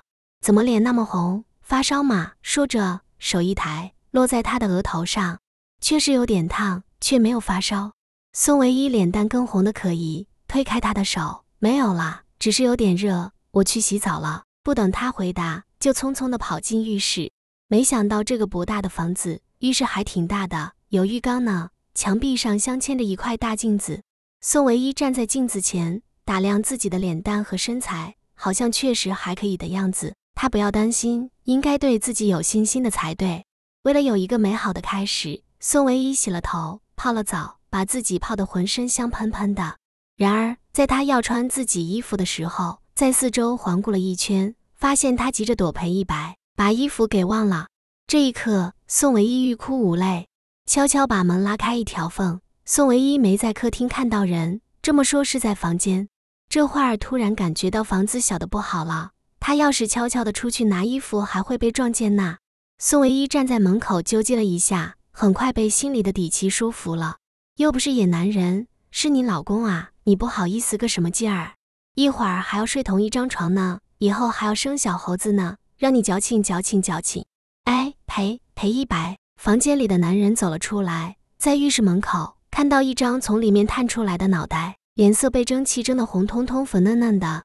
我衣服没有拿，你帮我。说完，脑袋飞快缩了回去，靠着门板呼呼喘气。傅家在房间里龟缩了一个晚上的傅岐山终于出来，直接跑去问傅子：“宁刚才发生了什么事？你别去惹你爸，他现在心情不好。”傅子宁拉着女儿的手直接上楼，进了傅岐山的房间。并将门关上。妈，到底怎么了？盛老没看上宋唯一，这不应该啊！男人不都喜欢宋唯一那种类型的吗？说这话的时候，语气颇为酸溜溜。傅白貌美大长腿，他也不缺，缺的确实凶器。傅岐山低头扫过自己一马平川的胸部，这已经成了他这几年的心头之痛。样样甩开宋唯一一条街的他，在这方面吃了大亏。也怪不得盛老一看到宋唯一的照片就认定宋唯一了。别说了，这事若是真的这么发展下去，肯定的黄了。父子宁皱着眉在单人沙发上坐下，女儿没有参加今晚的宴席，自然不知道什么情况。父子宁将事情的来龙去脉简单说了一下，并且给自己的女儿分析情况。那个盛老绝对不是好惹的人物，如果宋唯一没有跟那个裴一白离婚，再嫁给盛老的话，他绝对不会善罢甘休。到时候咱们家就成了罪人。如果盛老追究起来，第一个遭殃的你知道是谁吗？傅子宁也是见识过大风大浪的人，也深谙男人的心。面前的女儿涉世未深，所以在他如此问的时候，傅岐山只是傻傻的摇头，而不知道答案。是你，傅岐山一个字一个字的回答。什么？这个答案跟傅岐山想的偏差甚远。他以为第一个遭殃的并不是傅家的谁，而是傅家整个家族。山儿啊！你太不了解男人了，盛老那种人就是典型的老色狼，偏偏还是无比挑剔的色狼。普通的女人他看不上，但你别忘了，他第一个看上的可不是宋唯一，而是他傅岐山。宋唯一那里出了意外，还有一个他盛老第一个看上的女人。虽然说兜了一圈，但是盛老并没有损失，真正受损失的是他们傅家。妈，你帮帮我，我不要嫁给盛老那个老色狼，我才二十四岁啊，嫁给这种年纪的人，岂不是亲手把我推入火坑？到时候别人怎么看我们家，又怎么看我？傅岐山紧抓着母亲的手，差点哭了。不说傅岐山，就是傅子宁自己也绝对不会同意的。女儿是自己的心头肉，他也受不住一个年纪比自己还大的男人叫自己岳母。想想那画面都觉得可怕。别急，别急，妈妈一定不会让你落入盛老的狼爪的。所以这事的关键就要看宋唯一那边。呵，小小的公司职员就敢娶宋唯一？傅子宁笑了几声，拿出傅岐山的手机，打了个电话：“李老哥，有点事麻烦你。”帮我查一个人，叫裴一白，尤其是他任职的公司，给我查清楚，越快越好。等了一分钟，浴室外的门被敲了几下。宋唯一知道裴一白拿了自己的睡衣，忙拉开一条缝，衣服给你，好，谢谢。宋唯一抬头朝着男人甜甜一笑，将衣服塞到他手里。裴一白飞快离开。洗完澡，宋唯一的心脏又开始砰砰乱跳了，对接下来的事情又害怕又期待。裴一白坐在房间的书桌前，手噼里啪啦地敲击着键盘，全然坠入工作中。宋唯一在旁边看了几分钟，便拿电吹风吹了头发，后又拿出自己的电脑坐到了他的旁边。滴滴答答的声音持续了许久。等裴一白处理完公事后，抬头看到小女人在弄简历。你要找工作，瞄了一眼，发现用小妻子称呼他没有任何错误。两人相差了八岁啊，说我嘛？对啊。宋唯一忙不丁点头，将打开的简历模板关掉。好好上学，这么一点儿时间找什么工作？谁说一点儿时间？这可是两个月的暑假呢。再说大四第一学期末，我也要实习了啊。宋唯一把椅子挪动了一下，靠近裴一白这边。最后一个暑假，不好好享受一下？裴一白挑眉，他那弟弟妹妹可是恨不得疯个够的。宋唯一坚决摇头，不。我要出去锻炼一下，我不要再当米虫了。对于他特地提早找实习的原因，他才不会告诉裴一白自己是为了减轻他的负担呢。嗯，那随你喜欢。打算找什么类型的，投什么公司？裴一白移过他的电脑，目光落在宋唯一的简历上。简历洋洋洒洒的写了一堆，但是并没有多少实际的作用。他拧了拧眉，指了几个地方，这里用另一种表述方法，面试官会更有好感。宋唯一果然睁大眼，一副敬请指教的表情。改完他的简历，累赘的叙述已经被裴一白彻底删去。简历上并不见什么优秀的、让人刮目相看的地方。宋唯一低着头，突然有些不好意思了。都是我学习不努力，我会加油的。裴一白松开鼠标，好整以暇的靠在椅子上。打算投哪间公司？你学室内设计的，我也对这方面有些了解，可以给你指导。闻言。宋唯一立马把前面的问题抛到太平洋，一边激动一边打开招聘网站。我这水平，裴氏国际这种大公司肯定不要我的。但是我听同学介绍了一个，就是这个沃斯。旁边的裴一白闻言，眼底浮现一丝惊讶，随即不动声色地勾了勾唇。为什么选择他？沃斯才成立几年，但是上升发展的很快。据说刚刚成立的时候。就是小作坊类型的呢，你看现在任职人数都有几百了。关键是沃斯出品，用户几乎是百分百的好评，尤其是室内设计这一块，可见他们的设计师不简单，而且装修团队也不简单。宋唯一念念有词，对于这个公司是越看越满意。但我就是害怕我不够优秀，若是沃斯不要我怎么办？他有些忐忑地看着裴一白。沃斯的实习工资虽然不高，但是维持他一个人的开销。并且添一些家庭用品还是绰绰有余的。裴一白暗笑摇头，怎么会不要？别庸人自扰，一定能面试成功的。宋唯一是被电话声吵醒的，他迷迷糊糊的睁开眼，发现手机在书桌上，旁边还有余温，但男人却不知所踪。好梦被打断，宋唯一认命的爬起来，果不其然，打电话给他的是死党赵萌萌。宋唯一，你特么终于接电话了，姐找你半天了，快点。给我梳妆打扮，陪姐姐逛街去。电话里，赵萌萌哇哇大叫。隔着电话线，宋唯一也可以想象那边那个女人气急败坏的样子。话说才刚刚放假，好端端的又逛什么街？我可以拒绝吗？我好困。宋唯一一边打呵欠，懒洋洋的回答。答案可想而知。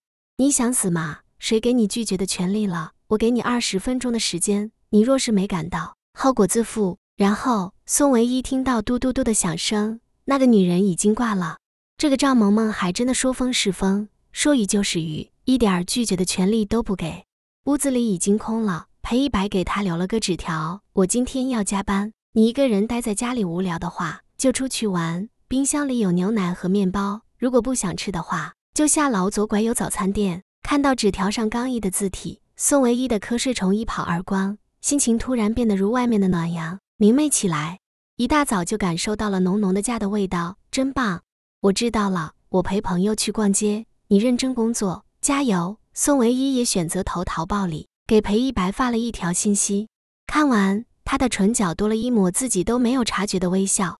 小丫头还挺知趣，一大早的笑得如此荡漾，是春天来了。王蒙走进来，面含打趣。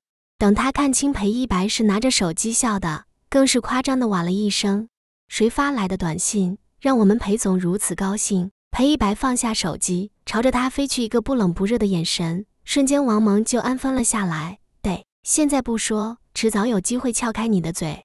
什么事？说吧。裴一白转着钢笔，谈到这个，王蒙表情多了一丝郑重，忙娓娓道来：已经按照你的要求在智易科技挂名了，而且有趣的是。傅家那真的有人找了智易科技的相关负责人，以十万块的高价要求开除裴一白。智易科技的裴一白月薪五千，家有高堂，下有弟弟妹妹，全靠着他一个人支撑。如果突然失去工作，自然难以养活娇娇小姐宋唯一。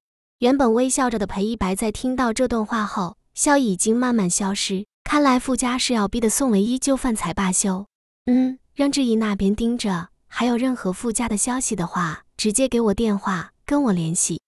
跟赵萌萌逛街，宋唯一得知大小姐心情不好的原因，是因为小竹马出国了。赵大小姐心里难受，难受的发泄便是不停的刷卡，直到宋唯一两手提的满满当当，走三步就喘气。喂喂喂，赵大小姐，可不可以先找个地方坐下喝水啊，吃饭啊，别光买东西，我饿了。宋唯一抗议，赵大小姐心情不好的时候，就想把她当苦力了。别以为她看不出来，赵萌萌长得娇小玲珑，不到一米六的身高，萌萌的娃娃脸，皮肤银白剔透，微卷的头发，看起来像个瓷娃娃。但此刻她硬是穿上了十二厘米的鞋子，跟宋唯一的身高不相上下。你今天怎么回事？什么都没买？赵萌萌嘟嘴反问宋唯一。宋唯一干笑，不怎么啊，我没看到喜欢的。胡说，上次你不是说喜欢那条巴宝莉的裙子？等生活费下来了就买吗？现在你爸已经把钱给你了吧？赵萌萌直接戳破了宋唯一的谎言。有时候朋友的眼睛太毒不是好事，比如此刻；有时候太奢侈也不是好事，比如过去。之前宋唯一想，反正不是他的钱，就花吧。刷卡的时候一点儿也不心疼。但今时不同往日啦，她可是新上任的好老婆，她要做一个贤妻，尽量不给自己的男人带来麻烦。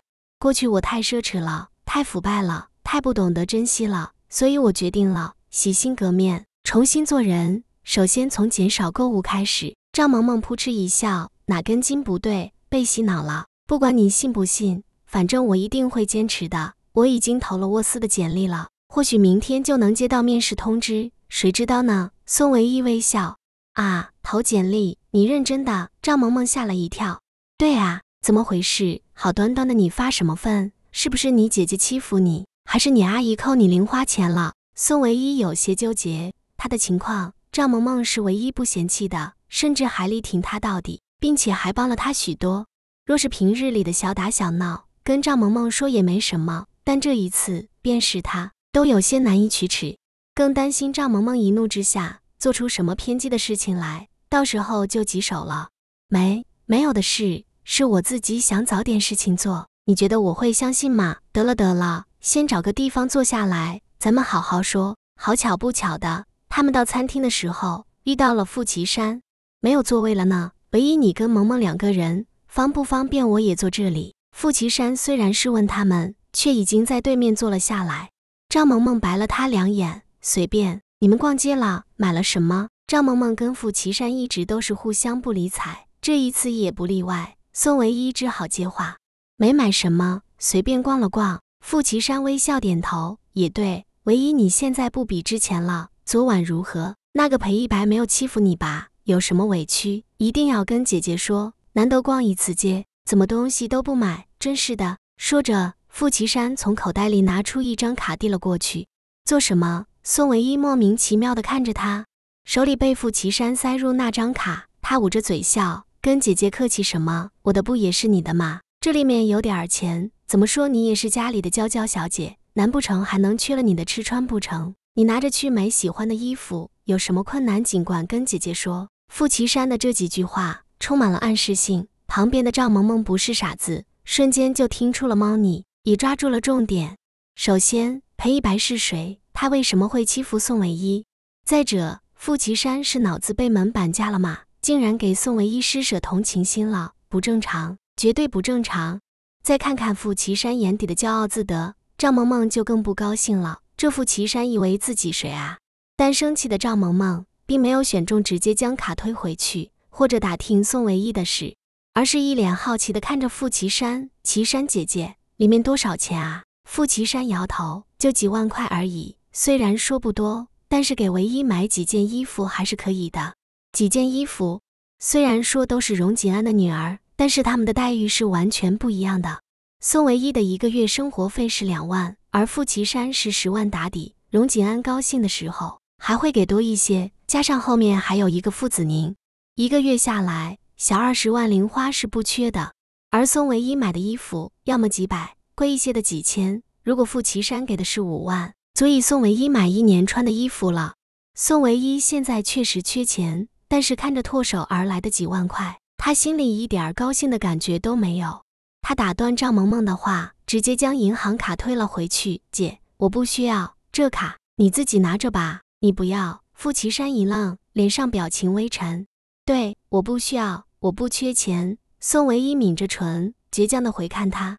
还有，裴一白不会欺负我，我在他那里住得很好，也很开心。他不就是想听自己过得不好的消息吗？可事与愿违，他很好，好的不能再好了。唯一，你可别逞强。好的话会连个衣服都买不起，会连逛街都不陪你。傅岐山很快反应过来，心里轻哼：这宋唯一还真是死要面子，宁愿撑着也不愿意承认。罢了，你执意这么想，那我也不管了。钱你不要，那我就拿回来。可别说姐姐没劝告你，你现在早点发现看清事实也罢。若是以后晚了，你哭都没地方哭。傅岐山走了，不带走一片云彩。满满当当的餐厅里，仿佛瞬间安静了下来。宋唯一，你还打算隐瞒我多久？谁是裴一白？给我如实招来！赵萌萌的手捶了桌子两下，眼睛恶狠狠地瞪着宋唯一。本来还想着不告诉他的，被一个傅奇山弄得全都乱了套。而赵萌萌也不是普通人，宋唯一深知她的性格，自己若是不开口，肯定会被她暴力压迫，直到不得不说。事情是这样的。宋唯一选择了长话短说，将他陪一白结婚的事情说了出来，但略过傅子宁想要卖掉自己的那一段，因为一见钟情而偷拿了户口簿跟对方结婚这种蠢事，真的会发生在宋唯一的身上？张萌萌表示强烈的怀疑。宋唯一，你当时脑子清醒吗？绝对清醒。宋唯一肯定的点头。张萌萌气得拍桌子，绝对清醒的情况下。你还会做这种蠢事？你以为结婚是过家家啊？心血来潮就可以完了？你以为为什么那么多人都想着给自己的女儿找个好的婆家，是为了什么？没有钱，你以后怎么办？连个像样的工作和房子都没有，你竟然也敢把自己嫁了？你简直是……他竟然找不到适合的形容词去形容宋唯一，疯了，傻了吧？怪不得，又是不买衣服，又是要找工作，原来是裴一白的功劳。到后面。张萌萌已经换上了一种恨铁不成钢，甚至是责骂的语气。好姐妹一场，她还真的能看着自己的姐妹跳火坑啊！本来我还想你姐姐那脑瓜子出什么问题了呢，但现在想想，她说的还真没错。你还是听你爸的，跟那个裴一白离婚吧，有你爸护着，他也不能把你怎样。再说了，你现在还年轻，还有一群男人要你。宋唯一摇头，萌萌，有些事你不懂，哈，不懂。不懂你跟裴一白之间因为一见钟情而衍生的非亲不娶、非君不嫁吗？这一面还能生出山盟海誓来？没有他就活不下去了。宋唯一否认，当然不是这个意思，但裴一白确实是与众不同的。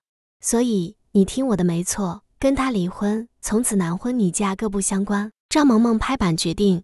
宋唯一苦笑，然后等着我爸爸把我转手卖给看得上我的人嘛。萌萌，你知道我在傅家的处境，就算是我爸不同意，傅子宁也不会容许我在傅家白吃那么多年饭的。嫁给不喜欢的人有什么用？不就是傅家的生财工具？为什么我不找一个我喜欢的人？他的反驳铿锵有力，再加上有些话宋唯一说的并没有错，不如傅家，比如傅子宁，以至于赵萌萌竟然无言以对。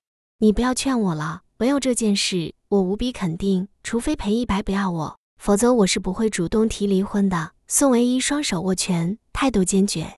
别的他可以听赵萌萌的，但唯有这件事是他的选择。赵萌萌咕哝了许久，威胁外加利诱，宋唯一都不为所动，最后终于死心放弃了。好好好，我劝不听你，我等着看那个裴一白到底有什么本事和魅力，把你耍得团团转。若是有一丝我不满意的地方，你就等着看吧。晚上，裴一白回去，厨房里一阵阵饭菜的香味往外飘。听到开门声，拿着锅铲、穿着围裙的宋唯一走出来，身上只穿着短袖以及热裤，露出一截修长白皙的美腿。回来了，辛苦了。菜还有两分钟出锅。小丫头拿着锅铲，手舞足蹈，可见心情很好。这样的造型别具一格。裴一白甚至没有见过女孩子直接从厨房出来的样子，没想到第一个见的。竟然是自己的小妻子，感觉有点奇妙。煮了什么？很香。他放下公文包，走过去，伸手将宋唯一脸上的一小块污渍擦掉。红烧排骨。宋唯一也不避讳裴一白的亲昵，将他拉到厨房。排骨已经出锅，他拿筷子夹了一块，直接送到裴一白的唇边。你试试味道如何？他自己没来得及试。宋唯一不经常下厨，只是偶尔在张嫂做饭的时候看了一下。大概是因为有着天赋，便会了。说实话，这还是他第二次做饭呢。他也不确定到底是不是自己说的那般精通厨艺的。他的雀跃传染了裴一白。三十年来，第一次有一个女人在家等着自己，为他洗手做羹汤。突然感觉这个小小的房子很是温馨。他张开口，排骨的肉香混杂着香甜的汁液，怎么样？还行嘛。宋唯一怯怯地看着他。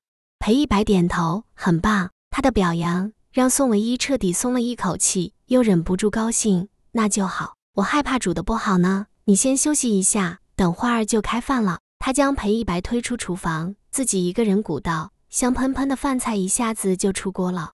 吃饭的时候，宋唯一打探裴一白的口风。对了，那个什么时候去见你爸爸妈妈啊？丑媳妇要见公婆，他期待又紧张。得到裴一白父母的认可的话。他就是名副其实的裴太太了。五还缺一个婚礼。裴一白似笑非笑，很期待嘛，不答反问。五没有没有啊，就是随口问问嘛，说的他很着急似的。女孩子要矜持，他还是知道的。裴一白也给他夹了一筷子的菜放在他碗里。爸妈现在在国外玩，估计要过段时间才回来。小弟他们也在上学。宋唯一的积极性有些下降。公公婆婆不在 A 市啊，希望他们能快点回来吧。哦，这样啊，我电话里跟他们说，到时候你说几句。裴一白优雅的抽了张纸擦拭嘴角，隔着电话跟公公婆婆说话。宋唯一的贼胆又缩了回去，还是先算了吧，等见面的时候再说，见面的时候再说。然后宋唯一便开始打探公公婆婆以及弟弟妹妹的喜好。裴一白也不嫌麻烦，说了一下父母和弟妹的性格。爸爸比较严肃，妈妈随和一些。严肃两个词让宋唯一心里咯噔一下，有种不好的预感。会不会很严厉？他这样的媳妇，他会不会不喜欢？还有她是私生女，若是他爸爸妈妈不高兴怎么办？别怕，你是我老婆，他们总不会吃掉你。裴一白看他表情担忧的样子，想笑。现在他也只能寻求老公的帮助了。那到时候你一定要保护我哦。不过我不会对你爸爸妈妈对着干的，我会做一个好妻子、好媳妇的。裴一白点头，这一点他也相信。洗完澡躺到床上，裴一白见旁边睡着的宋唯一翻了个身，他睁开眼睛，露出一双水水的瞳孔，还没睡着，不是累了吗？裴一白挑眉，他刚才在处理公司的急事，忙晚了，而宋唯一已经上床有一段时间了，睡了又醒了。你工作做完了？宋唯一揉了揉眼睛，做出一副才睡醒的样子，心里才怪。他只听到旁边他的手一直在敲键盘，一点儿都睡不着。嗯，下次我到客厅里去。裴一白将床头灯关掉，整个人躺了上去。夏日黑漆漆的空间，大床上的两个人无限贴近的身体，有什么东西似乎在发酵。宋唯一听到他的话，立马摇头：“不用啦，又不会吵到我。客厅的沙发茶几太低了，不方便用电脑呢。”裴一白沉默了一下，从喉咙里发出一个单音：“嗯。”明天周末有什么计划吗？他轻吐出一口气，极力忽视旁边女孩身上散发出的若有似无的香味。宋唯一咽了咽口水，在黑暗里摇头：“没有，你有吗？”他以为跟裴一白之间昨晚就会发生点什么，但事实上，他们只是很纯洁、很纯洁的睡了一觉。宋唯一也说不清楚没发生什么，他到底是失落还是松了口气？他说也没有。宋唯一干脆说：“那就待在家好了。”不早了，睡觉吧。裴一白一句话终止两人的交谈，很快那边就平静下来。宋唯一拧着眉想，是不是自己毫无吸引力啊？过了一会儿，他见裴一白的呼吸已经趋于平稳，忍不住偷偷往他的方向搂了搂。精神太好，宋唯一没有睡觉的念头，眼睛直勾勾地盯着裴一白看。灯光从窗户里照进来，不刺眼，却可以看到他的脸。越看越满意，越看越喜欢。宋唯一伸出手，干脆地抱住了他的腰。反正不是外人，是老公嘛。男人眼睛一睁，炙热的皮肤隔着一层薄薄的布料传递出来。喉结转了几圈，他硬是没有说什么，再度闭上眼。只不过夜晚却突然变得漫长起来。星期一，孙唯一接到电话，是沃斯打来的。是孙唯一小姐吗？我是沃斯人事处的职员，你的简历我们已经收到了，麻烦你今天下午两点半过来面试。面试这个消息让宋唯一欣喜欲狂。好的，我会准时到达的，谢谢你。挂了电话，宋唯一整个人都轻快起来了。拿到了沃斯的面试，离他进沃斯就近了一步。宋唯一坐下，换了一套衣服，化了一个得体的淡妆，出发去沃斯面试了。去的路上接到赵萌萌的电话，宋唯一告诉他：“萌萌，我去沃斯面试呢，不好意思啊，今天下午没空陪你逛街。”赵萌萌呸了一声。我又不是天天逛街的，那个沃斯在哪里？我也去看看，看热闹。宋唯一只好告诉他地址。沃斯的办公楼规模一般，宋唯一却看着这栋建筑，眼底充满敬意。关键是这里的人才，装点门面的东西倒是其次。还没到面试的时间，宋唯一在门外等张萌萌。人到了之后，才将简历递给前台小姐，对方很快带他上楼。面试宋唯一的是一名年轻的人士。问了他几个专业的问题，以及为什么选择沃斯之后，就挥手让他出去了。怎么样？怎么说？成功了吗？赵萌萌站起来，迫不及待地问。宋唯一摇头，刚才他的回答并不算很出色。那个经理对他的表现也只是给予淡淡的眼神，虽然没有直接说刷下来，但这个回去等通知，还是让宋唯一有些担忧。他说到时候会通知，因为来这边的期望颇高。宋唯一的心情多少受到了一点儿影响，张萌萌自然感觉到了宋唯一的低落，捅了捅他的手臂，大声道：“结果都还没出来呢，你先自怨自艾上了，不就是一份工作吗？工作到处都是，不愁找不到。”但让宋唯一觉得不开心的是，他对自己的反思。在大学三年，他似乎并没有任何明显比别人有优势的地方，很多东西他都不懂，也是因为他太没有将学习当一回事了，以至于现在心慌慌。也没有自怨自艾，就是觉得自己过去太不努力不进取了。切，有些事不是你努力进取就有用的，想这些干嘛？踏踏实实就好了吗？你要找实习，不介意的话，到我爸爸公司啊，分分钟找个你满意的岗位。但宋唯一拒绝了，他可以依靠赵萌萌一时，却不能永远依靠赵萌萌，没有那么多贵人时刻帮助他。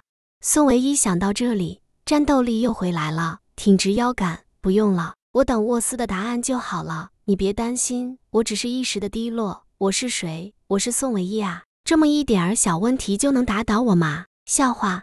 沃斯不要他的话，大不了他再找别的。好友恢复了精气神，赵萌萌也跟着笑容灿烂。这还差不多。不管怎么说，今天还是我第一次面试，感觉新鲜又激动。我们去吃点东西庆祝庆祝，我请你吧。五麦当劳怎样？宋唯一的这话换来赵萌萌的一记白眼。你为那个裴一白省钱省上瘾了，麦当劳垃圾食品。虽然嘴巴坏坏的说着，但最后他却拉着宋唯一去了麦当劳。点餐的时候，宋唯一难得的接到了裴一白的电话，既惊又喜。你怎么给我打电话了？有什么事吗？站在他旁边的赵萌萌顷刻间闻到了与过去宋唯一不同的地方，这眼睛仿佛一下子就亮起来了。还有一个电话而已，至于笑得那么灿烂，对，一下子就猜到。肯定是那个裴一白了。赵萌萌心里酸溜溜，没想到一声不吭的就喜欢上了一个男人，偏偏天天喊着恋爱的自己还是孤家寡人。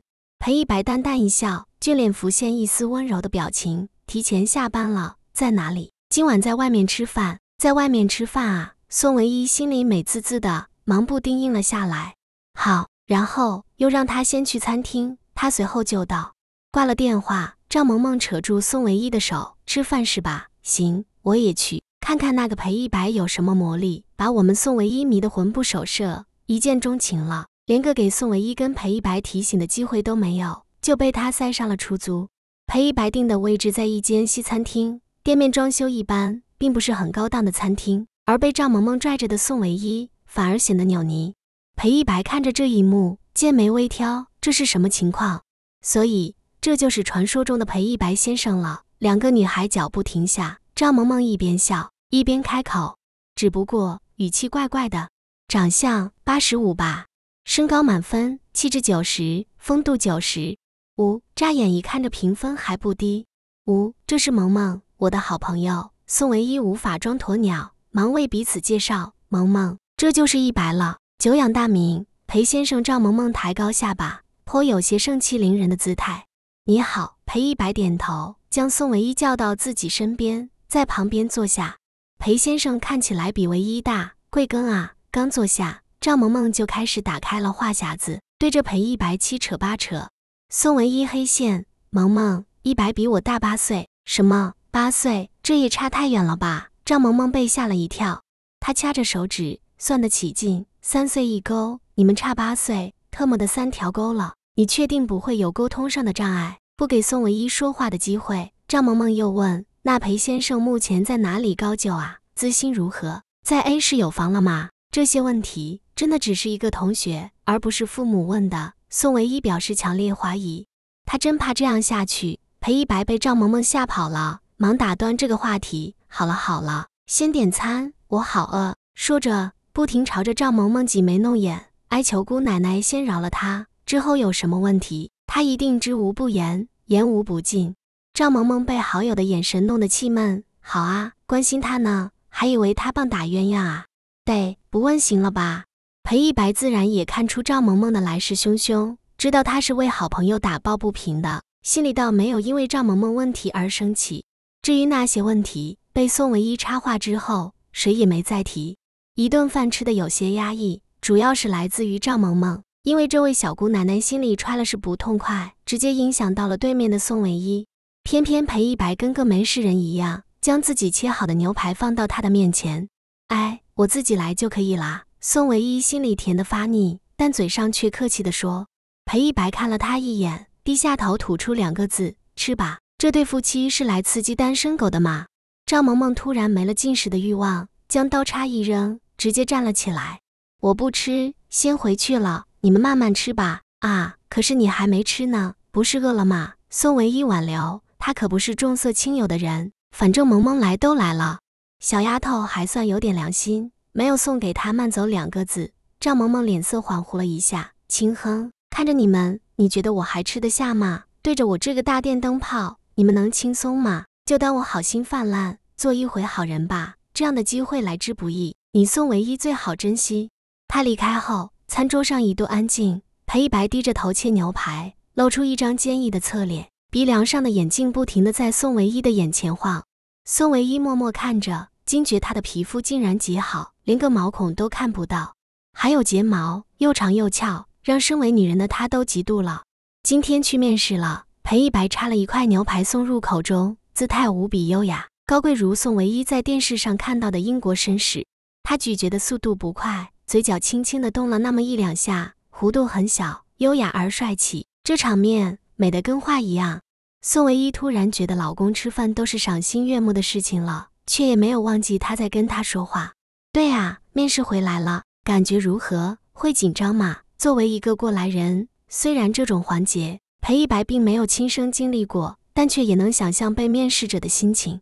宋唯一小鸡啄米般点头，好紧张啊，尤其是快轮到我的时候，在外面等候，心脏砰砰跳，比我高考那个时候还担心。不过进去之后，考官问我问题，我在绞尽脑汁的想答案，就忘了害怕了。说来还是个有趣的经历呢。宋唯一眯眼想，裴一白勾了勾唇，喜欢小妻子的坦诚，听着他聒聒噪噪的说着那些小事，却也不觉得无聊。至于结果，到时候出来了再说吧，我也不知道呢。宋唯一不想说可能被刷下来的事，现在难得气氛好，但心里却已经开始寻求后路，预防万一了。他知道裴一白对他非常包容，也不介意他这两个月找不找工作的问题。但是他可不能没良心的任由裴一白一个人在外面辛苦打拼。五，所以晚上回去的时候继续投简历吧，就不信找不到工作。好歹他来自 A 大建筑系的呢。吃完饭，时间还早，不到八点钟。宋唯一贪恋两个人在一起的时光，反正她是越来越喜欢自己的老公了，所以拉着他的手。眨着眼睛，嘟嘴卖萌，还早，我们先不回去好不好？有些表情，有些女孩真的让人无法拒绝。比如此刻，裴一白自认不是非常喜欢纵容女人的人，甚至放松对女人的要求，他们就容易得寸进尺，将自己太当一回事。但面对新婚妻子，他真的生不出任何讨厌的情绪，也默认了宋宋唯一对自己的亲昵。还想去哪里玩？裴一白一语道破宋唯一的目的。宋唯一干笑，周围走走，就当饭后消食，好不好？这么一个简单的要求都不答应自己的小妻子，似乎太说不过去。裴一白轻笑，那就走吧。西餐厅外是繁荣的步行街，宋唯一没想过去那里，只想在河边小道上走一走就算了。没想到裴一白却牵着他的手，擅自走向步行街的地方。哎，不逛街了吧？大晚上的逛街有什么意思啊？宋唯一咕哝，心里感觉怪怪的。随便看看，不一定都要买，不是吗？这话他没办法反驳了，只好点点头。跟在裴一白身侧的他，越发显得小鸟依人，尤其是男的帅气，女的漂亮，形成一道亮丽的风景线。裴一白的为人比较沉默，所以大部分时间都是宋唯一叽叽喳喳的说话，但是他却是个极好的聆听者，一点都不会漏听他的话，也不会觉得不耐烦。走了一会儿，宋唯一看他们去的方向。觉得有些不对劲了，怎么是去那个最大的珠宝店的方向？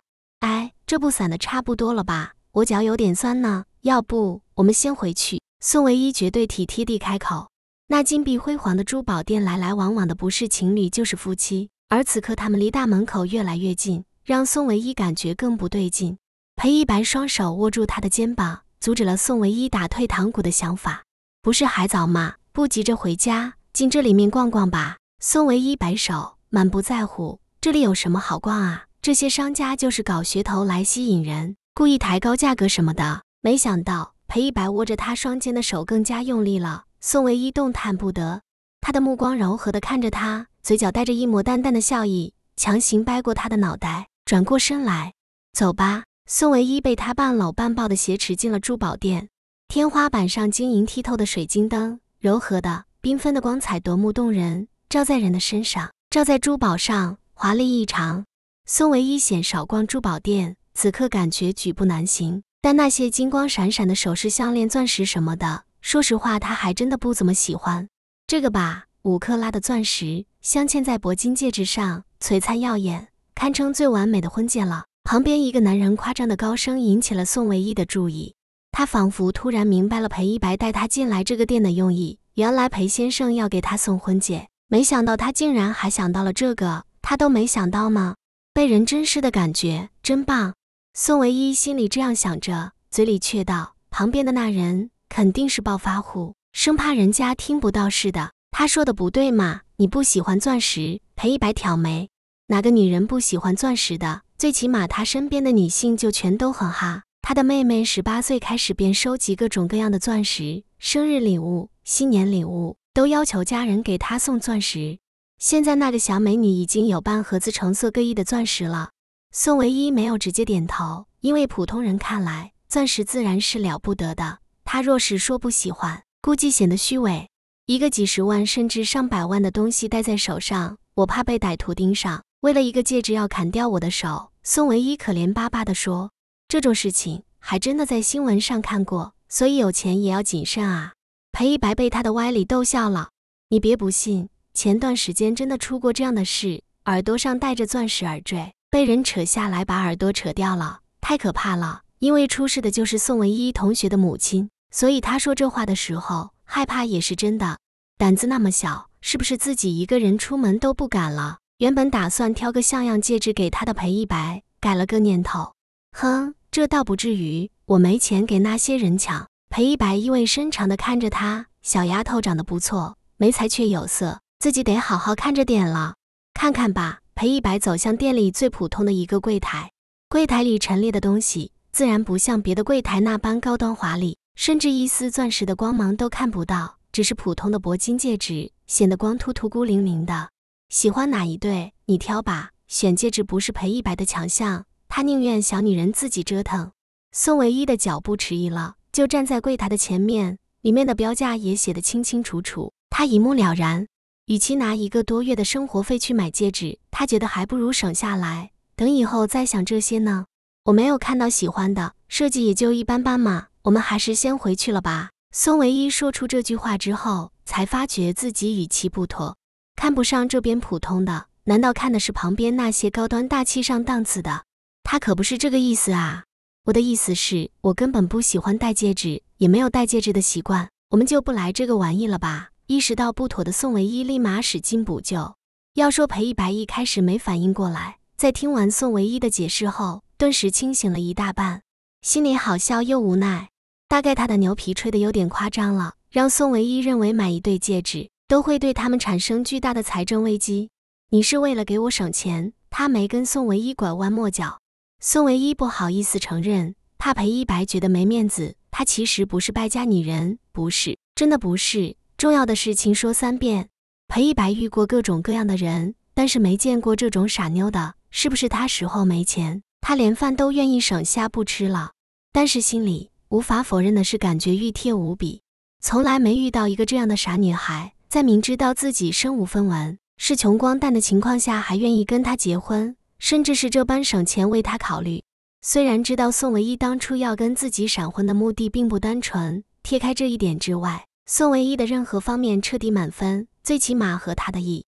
裴一白轻拍着女孩的肩膀，暂时举办不了婚礼，难不成连个戒指都不能给你？放心，这点钱还不至于让我们的家庭预算破产的。宋唯一脸蛋绯红，跺脚否认：“我不是这个意思，不是的话就挑一对喜欢的。”末了，无奈找了个借口：“今天发了一笔奖金，最起码买对戒指是绰绰有余的了。”话都说到这个份上。宋唯一还有拒绝的权利吗？他怕再矫情下去会让裴一白不好受，只好低下头看戒指。最后，宋唯一看中了一款很简单的对戒，上面什么都没有，而且重量也是偏轻的。就这一对吧，我喜欢简单的。不由分说，让导购拿出来，并且当场试了一下，大小刚好呢。小姐的手很漂亮。导购微笑。宋唯一看着自己的手，伸到裴一白面前，好看吗？他点头。宋唯一的手修长银白，十指纤纤，非常漂亮，一点都不违心。那我也给你戴上。宋唯一忙不丁拿起那个男戒，让裴一白伸出手，低着头，以虔诚到郑重的姿态，将戒指戴到他的无名指上，感觉他们之间的距离又靠近了一步。买了戒指，裴一白低头付款，宋唯一乖乖站在旁边等他。一百旁边一声惊讶的叫声，让宋唯一好奇望过去。谁这么亲你？这么叫裴一白？这一看不得了，对面的女孩也是妙龄少女，穿着香奈儿的最新款，长长的卷发披在背后，面上画着精致的妆容。宋唯一被吓了一跳，这个女人是谁？真的是你？你竟然会在这里？苏月琴看了裴一白许久，才注意到他身边的宋唯一。身为女人的她，瞬间感觉到了诡异。这个不是裴一白的妹妹吧？为什么一起来逛珠宝店？苏小姐。裴一白结完账，眸底闪过一丝情绪，没想到竟然在这里遇到了，真是有缘。最近很忙吗？一直想着找个时间一起吃个饭。苏月琴正是王蒙口中的苏小姐，跟裴一白第一次是相亲认识，后来吃过两次饭。嗯，裴一白淡淡的应了一声，便将苏月琴衬托的过分热情了。尽管他的冷淡很明显，但苏月琴还是不死心。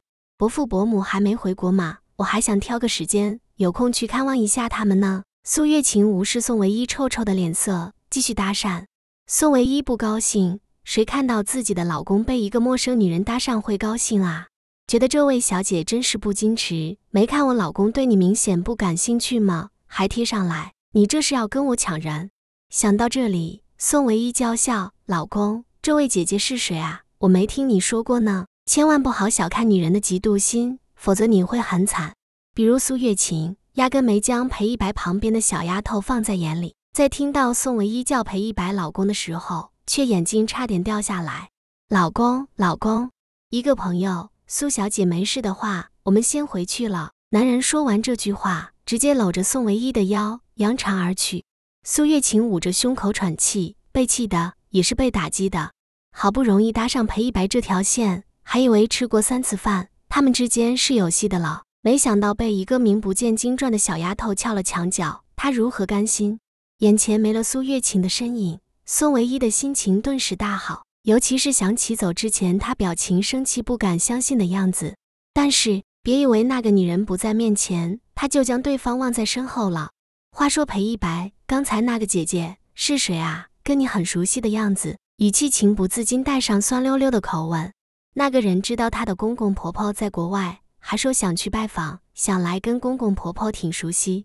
裴一白勾了勾唇，随口回答：以前的相亲对象。啊，你还相亲了？宋唯一睁大眼睛，而且还是一个如此优质的女人。而看样子，那个女人对裴一白感兴趣。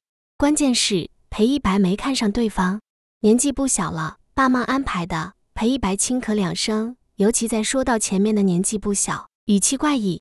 宋唯一点头表示理解，这大概是父母的通病吧。比如在傅家，已经二十八岁高龄的大哥傅修燕没有女朋友。傅子宁和荣锦恩便不时给他安排相亲对象。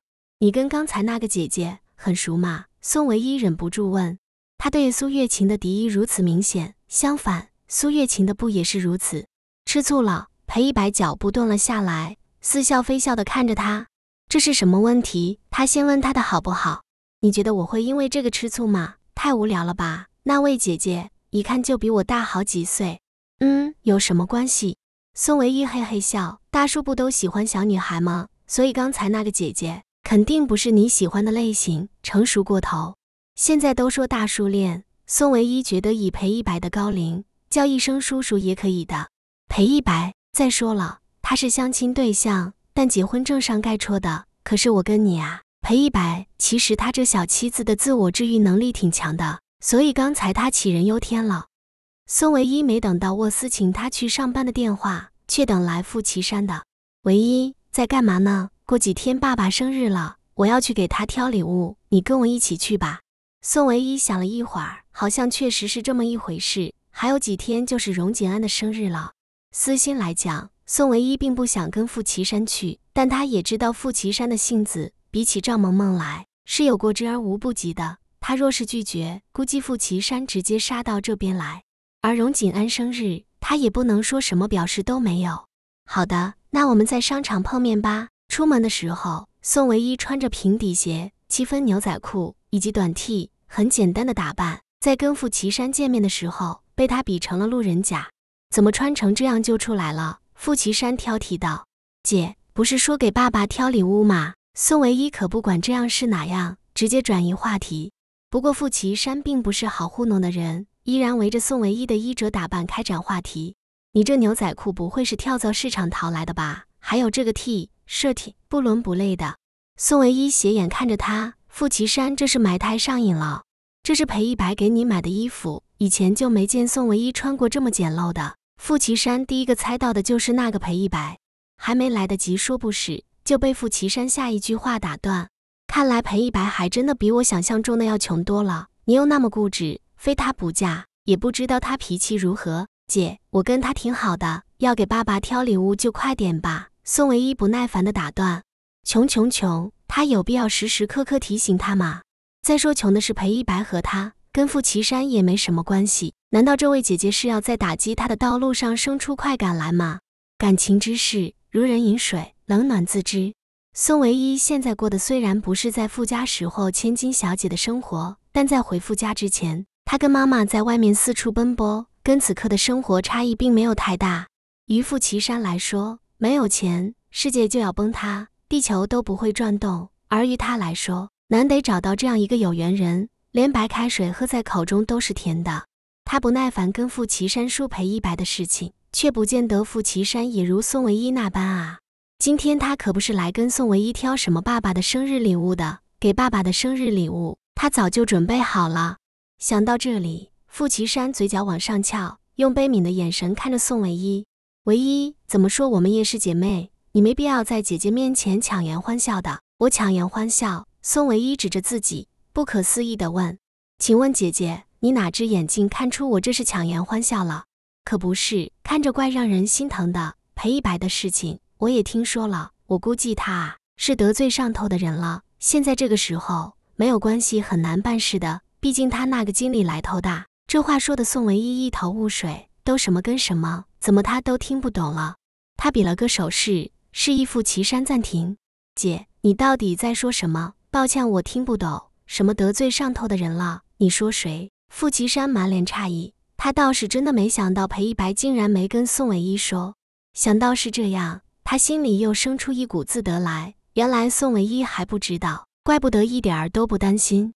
就是那个裴一白啊，他不是丢了工作了吗？你不知道？傅岐山捂着嘴，故意做出一副夸张的惊讶。他不会是没有告诉你吧？是因为怕你担心，还是不敢告诉你啊？看来他瞒着你的事情很多啊，唯一，你可要小心点，别被他骗了。他在碎碎念念什么，宋唯一都没有听，只是呆呆地站在旁边，脑袋中反反复复想起傅岐山说的裴一白丢了工作的事。他不知道，他完全不知道，因为裴一白没跟他说。怎么会这样？这里面肯定有误会。他昨天还好好的，还说发了一笔奖金。你不信啊？那不妨你自己去智一科技打听一下。我是因为刚好有一个同学在那里上班，而且裴一白的事情弄得动静蛮大的，所以才知道的。至于什么动静，傅岐山懒得说，看宋唯一失魂落魄的样子，就知道他一定会亲自去验证的。也好，这样才让他死心，看你能坚持多久。宋唯一丢下傅岐山走了，身后傅岐山喊他：“哎，你去哪里呀？不是说好的给爸爸挑选生日礼物吗？你要放我鸽子。”他走得很快。听到傅岐山的话，脚步一顿，选礼物，他现在没这份心情，也没有时间。姐姐，你自己选吧，我有点事要先回去了。说完，上了一辆公交车。宋唯一坐着公交，直奔裴一白所在的智易科技。在今天之前，他甚至不知道裴一白在智易科技工作，没想到竟然是经过傅岐山的口告诉他的，这让宋唯一感觉非常不好。他对裴一白实在是关心太少，了解太少了。想到裴一白一个人承受着事业的压力，而他还没心没肺的跟傅岐山逛街，宋唯一就愧疚。她是不合格的妻子，自己的男人出事了，她竟然一点都不知道。宋唯一，你真的是猪，你真的太笨了，这样怎么对得起裴一白？宋唯一拍打自己的脑袋，但一切都已经于事无补。他只是想知道裴一白丢掉工作的事情到底是怎么回事，为什么才短短几天他就会丢掉工作？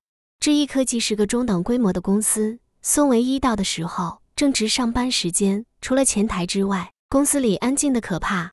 小姐，宋唯一被前台小姐拦住去路。我想找裴一白的上司。宋唯一急中生智，让裴一白丢掉工作，肯定是他顶头上司做的好事。来的时候，宋唯一已经打了无数的草稿。或许是因为裴一白太优秀，让那个上司看不顺眼，所以故意炒掉了裴一白。肯定是这样。宋唯一看电视上都是这么演的，心里对裴一白的上司以及智易科技的老板产生浓浓的鄙视。如裴一白这种如此优秀的人才丢掉，简直就是他们的损失。前台小姐微微一笑，并没有对宋唯一恶言相向，只是礼貌地问：“请问有预约吗？”简单的一句话，却将宋唯一拦在门外。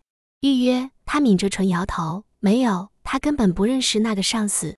抱歉。”没有预约的话，是不可以上去的呢。不能通融一下吗？真的有很重要的事情。宋唯一哭丧着脸回答他的是前台小姐肯定的拒绝。宋唯一知道确实有个预约这么一回事的，而现在被拦下，就说明他无法进去了。那么就在外面傻等。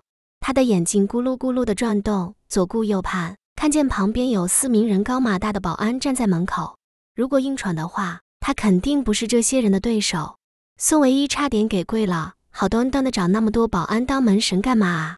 他咬着牙，语气硬邦邦的点了头。那好吧，我在这里等他。他推着智易科技的沙发去坐下。不要问宋唯一为什么这么厚脸皮，狗急了跳墙，人急了，什么面子什么骨气都被丢到一边。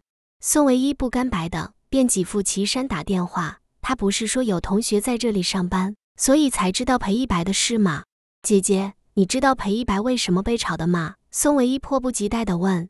个中缘由，傅岐山再清楚不过，不就是十万块钱的原因？但他自然不能这么跟宋唯一说，否则宋唯一岂不是找他拼命？你在智易科技？宋唯一一愣，没想到傅岐山竟然猜到了，只好勉勉强强的点头。哎，我劝你不要白费力气了。据说裴一白在智易科技的风头盖过了他的上司，然后你懂的。宋唯一失魂落魄的从沙发上站了起来，心里呕血的要命。自己猜测是一回事，而知道真相又是另一回事。原来一个人太优秀也是一种错误。他就说裴一白不会无缘无故的被炒掉。如果他什么都不懂，直接去找了那个上司，估计就被对方嘲笑的要死了。而现在摆明了找他的上司没有用，非但没有用，还会对裴一白产生更加恶劣的影响。如果上司借着工作便利给裴一白在老板的面前穿小鞋呢？这人实在是太可恶了。宋唯一蔫巴巴的起身了，心里已经形成了一个初步的计划。裴一白的工作必须挽回，这可是他在 A 市奋斗多年的根基。被人以这样的借口炒掉是一件多么可笑的事情！既然找上司没有用，那么就找他的老板。此刻，宋唯一迫切想要见到裴一白，却知道他此刻肯定不在智一科技公司里，便给他打电话。嘟嘟嘟，持续响了好几声。正在会议室开会的裴一白本想摁掉，将这个扰乱会议的电话挂掉，却没想到来电人是宋唯一。他知道他在上班，没事的话是不会给自己打电话的。而此刻显然是有急事。想到这里，裴一白比了个噤声的手势。原本在讨论的众人顿时停下，战战兢兢地看着他。在 PPT 上讲解的员工甚至以为有什么事情，胆战心惊地看着裴一白，就差眼泪直流了。怎么了？有事找我吗？没想到 boss 突然打断众人的原因，仅是因为一则电话。会议室全部人眼镜差点掉出来。还有，这语气似乎过于温柔。宋唯一眼眶红红的，想哭，但是被他强忍住了。他吸了吸鼻子，摇头，没有什么要紧的事，就是突然很想你，我想听你的声音了，所以就给你打电话了。裴一白嘴边的弧度忍不住往上扬，想他了。嗯，他点头，从座位上起身，走出会议室。那些明晃晃的眼神，一个两个都盯着他这边，还能不能给人好好的讲电话了？回到自己的办公室，裴一白在沙发上坐下，问宋唯一在干什么。我随便走走。宋唯一说，他才不会告诉他自己跑到智易科技来了呢。你呢？我这个时候给你打电话，会不会打扰你？无妨，不算很忙。所以他还是没有说丢掉工作的事情，是要打算隐瞒到底了吗？他是担心自己知道后会胡思乱想，还是说怕因为这个他就跟他离婚？宋唯一想，这种小小的问题根本不是什么事，他怎么会那么不懂事？因为这个跟他离婚？声音怎么了？裴一白注意到他沙沙的鼻音，难道是哭了？今天跟谁出去了？被人欺负了吗？裴一白皱眉，怎么他身边要欺负他的人那么多？难道是盛正国找了他，亦或是他的父亲？宋唯一头皮发麻，没想到电话那边的男人这么敏感，他已经极力克制了，竟然被他听出了自己声音不对劲。这个男人到底心多细啊？他慌忙摇头，没有啊，谁会欺负我？我又不是傻子，才不会傻傻的被人欺负呢，还不傻？裴一白哑然失笑，想到小女人的傻样，心情飞扬。他摸着自己无名指上的戒指，这么显眼的东西，一大早就被王蒙看到了，吓得脸都绿了，问他到底是何方神圣让大少爷结了婚？到现在，裴一白也没说，王蒙却彻底好奇上了。对传说中的大嫂无比期待。打算邀请裴一白晚上出去喝酒，到时候将裴毅灌醉，从他口中套话出来。既然知道自己不傻，就被被人欺负了，还帮着人数钱，你爸爸那边找了你吗？孙唯一摇头说没有，还不到一周，爸爸怎么会找自己？跟他朝夕相处了十二年，对于荣锦安的性格，宋唯一还是有些了解的。这一次他是生气了，自然不会给自己什么好脸色，更别说纡尊降贵的低下头来跟自己说话了。他这会儿大概正高高在上的坐在傅家，等待宋唯一回去求他呢。那就好，有什么事一定要记得跟我说，知道吗？裴一白的语气已经带上了习惯性的命令。这种人一看就是高高在上、习惯了发号施令的猎食者。好的，你今天还要加班吗？今晚倒不用加班，但是有个应酬。裴一白便干脆说了要加班。此刻他还不知道小妻子已经知道他被这一科技给炒掉了。更不知道他说出要加班之后，宋唯一心里已经脑补了很多东西。那你工作吧，要注意身体哦。还有，记得按时吃饭。天宫，荣锦安再一次光临，但这一次只有他以及盛老两人。他到的时候，盛老已经坐在包厢里等候多时了。包厢里灯光明亮，照射出盛老微微下沉的嘴角，已经紧绷的脸色。荣锦安心头突突一跳，背部往下弯了弯。盛老竟然到了。抱歉，让您久等了。他只得硬着头皮往里面走，迎面而来的压迫气息让荣锦安的心紧揪成一团。盛老扯了扯嘴角，也才刚到而已。你比我想象中的早一点，比约好的时间早到了十分钟。尽管如此，他已经老神在在的在这里坐了五分钟了。荣锦安选择了一个离盛老不算远，却也不算很近的距离，在安全的范围之内坐下后，盛老也不吭声。做贼心虚的不是他。自然不需要他低声下气的解释。盛盛老，关于唯一的事情，荣锦安苦着脸，嗯，虽然只是一个简单的字眼，却表示程老确实在认真听，也等着荣锦安的答案。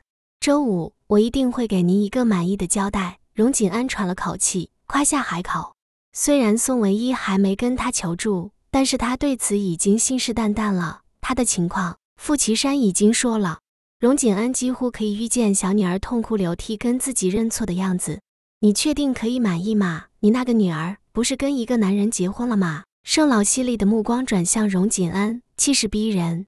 我有办法让他跟裴一白离婚的。荣锦安立马道：离婚是势在必行的事情。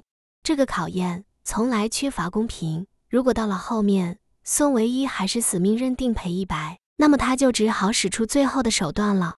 所以。你的意思是让我捡别人穿过的破鞋？盛老不怒反笑，恶狠狠地看着荣锦安，仿佛要将他吞下。突然拉高的声音吓得荣锦安肝胆俱裂。他在商场经营多年，也没有学到像盛老的这种盛气凌人的气势。归其原因，大概是因为对自己的出身芥蒂吧。盛老息怒，当初您不是看上唯一吗？这丫头比她姐姐长得好，而且荣锦安顿了一下，硬着头皮继续。珊儿在美国留学的时候交过两个男朋友，所以大女儿也不是处了。虽然都如花似玉，但相比之下，宋唯一更胜一筹。盛老抿着嘴，半晌没有吭声。您看唯一如何？既然如此，那就如你所言吧。只不过这一次，我可不希望再出什么纰漏了。荣锦安，到时候事成，自然少不了你的好处。如果宋唯一那里搞不定，那么我可不管你大女儿如何。一定娶了她。荣锦安陪笑，是是是，我保证一定会成功的。盛老放心。临走之前，盛老意味深长笑了几声，将要离开的荣锦安叫住。盛老有何吩咐？荣锦安一愣，脚步立马停下。桌子上多了一张支票，被程老推到他的面前，上面的开头数字是五，后面一连串的零。您这是何意？尽管没有看清楚到底多少个零，荣锦安也知道可能的数字。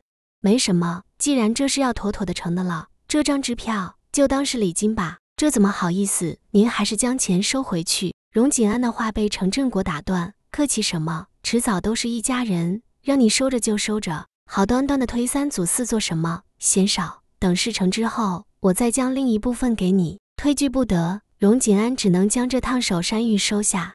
但此刻，他也更明白了盛老的意思，这一次势在必得。没有任何反悔的余地了。出门的时候，包厢外程老的两个保镖让荣锦安头皮发麻，他脚步匆匆的走了。宋唯一守在这一科技一个下午，没有等到传说中的老板，只好败兴而归。八点多了，家里空荡荡的，竟然只有他自己。后来才看到裴一白给自己发的短信，说有应酬，要比较晚回去。宋唯一心酸的回了一个好字过去。当她的老公真不容易。裴一白或许此刻只是在外面某个地方喝闷酒吧，他担心他，又怕自己跑出去撞见那一幕，裴一白会觉得难堪。之后蔫巴巴的坐在沙发上等他，这一等就是三个小时。十一点多，外面才响起开门声。宋唯一刚刚爬到床上，却睡不着。听到开门声，他几乎是唰的一下从床上爬起来，往外面冲去。比他想象中的要好一点。裴一白并没喝得烂醉如泥，只不过宋唯一隔着距离也闻到了从他身上散发出来的酒气。你回来了，宋唯一走过去，干净利落地搀扶着他。男人的身上带着淡淡的香水味，清新明亮，但这种味道却并不是男人的香水味。宋唯一心里咯噔一声，难道还有什么自己没有意料到？嗯，这么晚了还没睡，等我？不是的，我只是还没睡着而已。宋唯一否认。他歪歪扭扭地扶着他去开客厅的大灯，灯光将裴一白的情形照射得一清二楚。他依然是那副略微冷峻的表情，玻璃镜片挡住了裴一白的目光。或许此刻他的眼睛因为醉酒而朦胧的。宋唯一挽着他的手突然有些发抖，他嘟着嘴，觉得有些委屈。穷不委屈，没钱不委屈，委屈的是他有别的女人。怎么了？眼眶那么红，哭了？裴一白喝多了，头有点痛，心里低咒几声。该死的王蒙，今晚就是他起哄。那些人胆子见长，竟敢一个个灌他。没有，你感觉怎样？会不会头晕啊？难不难受？宋唯一摇头，不过是一点点香水味而已。他一个劲地告诉自己，根本没什么。他在胡思乱想。小女人生活的声音柔柔的，少了她平日里叽叽喳喳的聒噪，反而带着浓浓的关心，温温的，仿佛心口烫过的一道暖流，让人通体舒畅。裴一白顺势坐下，半靠在沙发上，闭着眼露出一丝疲倦的表情。还行，看他这么辛苦，宋唯一又心疼了。他的手凉凉的，贴在裴一白的额头上，不烫，大概只是喝多了累了。我去给你泡蜂蜜水，你等一会儿，有什么不舒服的地方的话，一定要告诉我。他一边说着，一边起身，随即他耳边传来哒哒哒的脚步声，轻快动人的脚步声。裴一白的眼睛睁着。露出一条细缝，静静地看着他。宋唯一穿着粉色的无袖睡裙，裙子长度在膝盖以上，露出白皙纤细的小腿。他这个方向望过去，只见他的侧脸粉粉嫩嫩的，如一朵含苞待放的花儿。而往下，更叫裴一白上火的是，他的上身竟然没有穿小内内。他突然感觉一阵口干舌燥，这种灯光下的直面诱惑，跟关了灯，两人躺在床上的时候完全不同。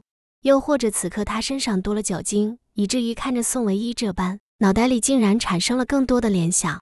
喝完蜂蜜水，你就去洗澡，然后早点睡觉吧。醉酒很难受的呢。以前我大哥喝醉了，弄得全家人都围着他转，那阵仗很吓人的，差点进医院洗胃了。宋唯一端着蜂蜜水回来，温柔地送到裴一白的嘴巴，眼神带着关切：“喝吧，你应该不喜欢喝太甜的，所以我没有放太多蜂蜜。”宋唯一干脆在旁边坐下，看着他将被子里的蜂蜜水喝完。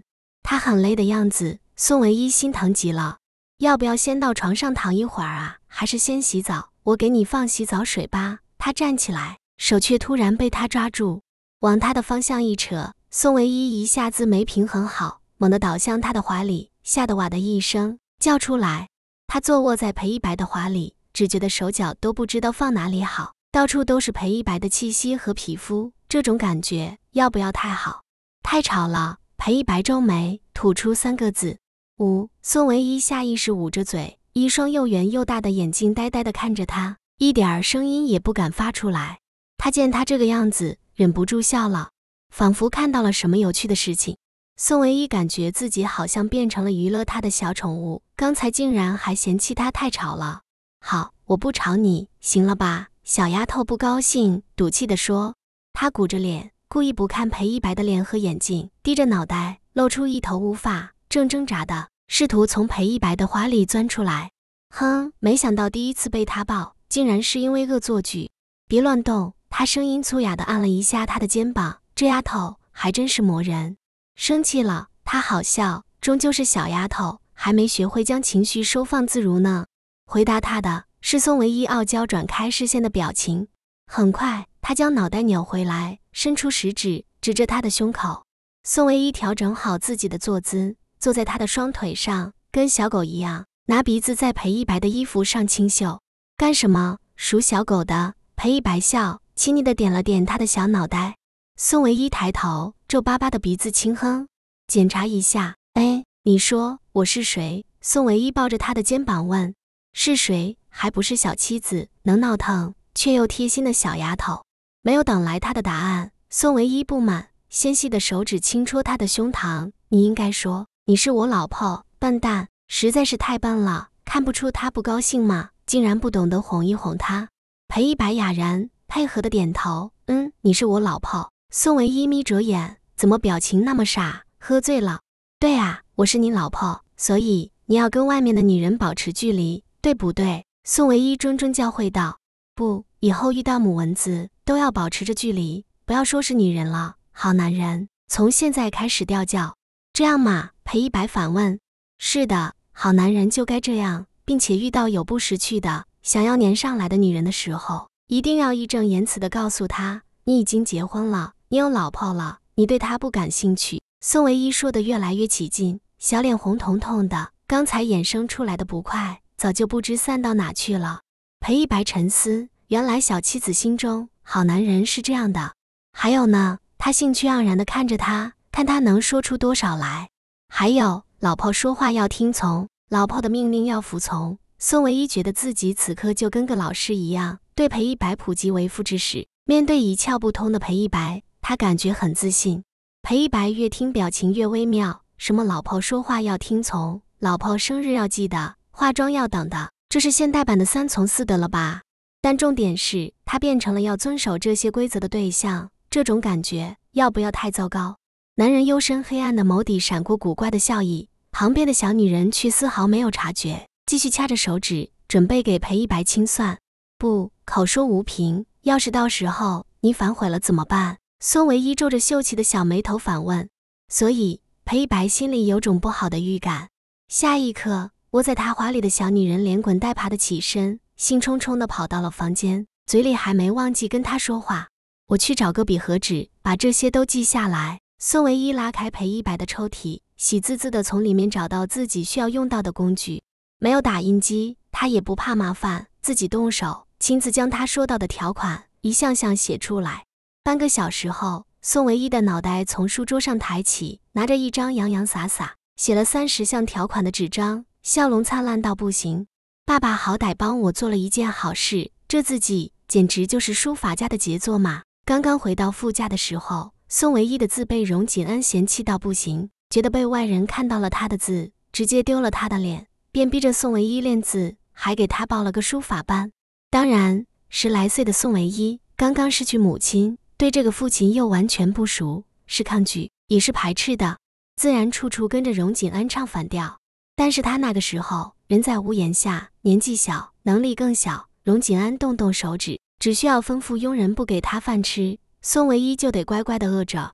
这是跟荣景安作对的下场。宋唯一知道之后，不敢再跟他唱反调了，也就乖乖的学习写字，并且难得的有今日的成果。拿着写好的纸条出来，客厅里一盏大灯孤零零的亮着。宋唯一脚步一顿，发觉客厅里的男人因为等候太久，靠在沙发上睡着了。他的脊背直直的靠在沙发上，剑眉轻皱，仿佛什么烦恼。不是吧？我还没有说完，你还没有签字画押呢，怎么可以睡觉？宋唯一憋着嘴，欲哭无泪。那他不是白白奋斗了半个小时，手都酸了，差点断了，他竟然给他呼呼大睡。喂喂喂，你不会是故意的吧？宋唯一想到这个可能，撇撇嘴。裴一白的表情没有任何变化，仿佛没听到他说话似的，仍然紧闭着眼睛，一副已经睡熟的样子。这是真的睡着了。宋唯一心里拔凉了那么一下，表情纠结的看向自己手里的三十项条款。这可是唯一一个难得的机会，趁着裴一白睡着了，若是能写上去的话，他以后好歹有凭据。终究是狐假虎威的诱惑太大。宋唯一想了一下，悄悄溜进房间，把自己的腮红拿了出来。喝醉了，睡着了就醉吧，睡吧。但是该签的、该画押的还是必须的。我这可以是为了你好啊。他一边碎碎念，一边打开腮红，猫着腰，轻轻抬起裴一白的手。这样很好，只需要轻轻的在这里摁一个手印，那就万事 OK 了，很简单的，对不对？宋唯一窃笑，举着他的指腹移到白纸黑字的下方。他已经可以预想下一次裴一白喝醉酒。自己拿着这张纸声讨他不准喝三杯以上的白酒的画面了。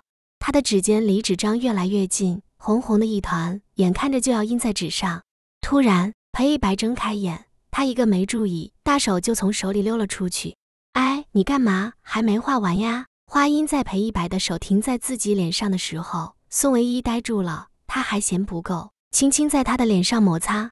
几点了？你怎么还不睡？叽叽喳喳的，你属鸟的。宋唯一眨眼打量对面的男人，到底是清醒还是醉酒的状态？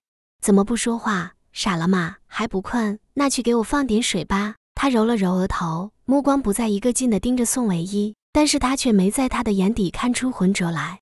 宋唯一心里这下彻底拔凉了，抱着不确定的心思，小声问他：“你现在是睡醒了吗？还醉吗？我是谁？这是几？”比了四个手指头在他面前。要考验裴一白的架势，裴一白没有回答，却低头，目光恰好划过他手里的白纸黑字，颇感兴趣的拿了过来。那么久的时间，肯定不止三从四德，他倒要看看还写了什么。嗯，裴一白需遵守以下准则：一，这个家由我宋唯一说了算。还没念完第一则，A4 纸被心虚的宋唯一抢了过去。他确定他已经醉醒了，这种纸条醒了的话，就没必要给他过目了。若是裴一白反将自己一军怎么办？宋第一条霸气侧漏的宣言，也可以想象宋唯一的雄心壮志以及对裴一白的要求。他看着被抢空了的手，目光扫向宋唯一，刚才那是什么？我怎么看到了我的名字？你拿过来，我看看。站起来，圆臂直接向他这边够，脚步稳稳当当，视线犀利清晰。宋唯一越发肯定，他已经睡醒了，这些坑爹款项糊弄不了他了。既然知道这是事实，他哪里还敢在老虎的身上拔毛？将纸条藏在后背，宋唯一往后退，一边干笑：“没什么，没什么，我写着玩的呢。你肯定没有兴趣啊。对了，很晚了，你肯定累了，我去给你放洗澡水，你在这里等着哈。”不等裴一白回答，灰溜溜的跑到了浴室，反手将门给关上，一个劲的喘着粗气。呜呜呜，好险，差点就被他看到了。可是。还很遗憾的是，差一点点就盖章了啊！宋唯一欲哭无泪的想。第二天一早起来，裴一白面色无恙，一如往常的跟宋唯一说去上班。已经从傅岐山口中得知他失业的宋唯一闻言，差点没哭出来，突然情绪失控的抱住他。没想到他这个突然动作的裴一白却是一怔，浑身僵硬的任由宋唯一抱着自己。怎么了？宋唯一将头埋在他的怀里，眼眶有点酸酸的。热热的，又担心又暖心。而原本已经打算离开的裴一白，脚步硬生生的停在了玄关处。他抬手，犹豫片刻之后，落在宋唯一的后背，慢慢的轻抚他的脊背。他的反应也让裴一白震惊，因为他竟是颤抖的站立的。怎么了？谁欺负你了？难道我昨晚喝醉了，做了什么坏事？裴一白只是笑言，他记得清清楚楚，昨晚自己倒是差点被他欺负个够了。再如何也不至于他欺负他啊！宋唯一心里早就七拐八拐地转了许多弯。女人在某些时候是科学家、思想家，这句话真的没错的。他想，裴一白此刻顶着多大的压力以及难受，才能做到若无其事，脸上风平浪静，仿佛被炒掉的人不是他一般，反而倒回来安慰他啊！这个男人实在是太让人心疼了，也实在是太值得自己珍惜了。他想。或许这就叫做瞎猫碰到死耗子。他运气差了那么二十几年，唯一运气好的时候，便撞到了裴一白这么一个不嫌弃自己的男人。不说话，真的那么委屈？裴一白放缓了语气。难道是因为在这里住的不习惯，想念傅家了？这个念头一出，便有些难以收起。他的手僵硬的放在他的后背，却没了跟刚才一样轻拍安抚小女人的心情。裴一白的脸色。在此刻的日光下显得有些朗然，并非失望，也并非难过，只是在现实的面前，是个女人都知道该选择的是哪一样。或许她只是贪恋富家的温暖，在富家，她是娇娇小姐，不缺吃穿，也不缺钱，但在这里，一切都跟她在富家相反，也怪不得她无法忍受了。裴一白自嘲一笑，在这个现实的当下。他竟然也犯了一种名叫天真的错误，真是可悲。可是他也断然不会在这个时候松开他的危险还没解除。若是他又跳进了圣正国的坑，岂不是害了他一辈子？裴一白轻笑，往后一退，扶住宋唯一的肩膀。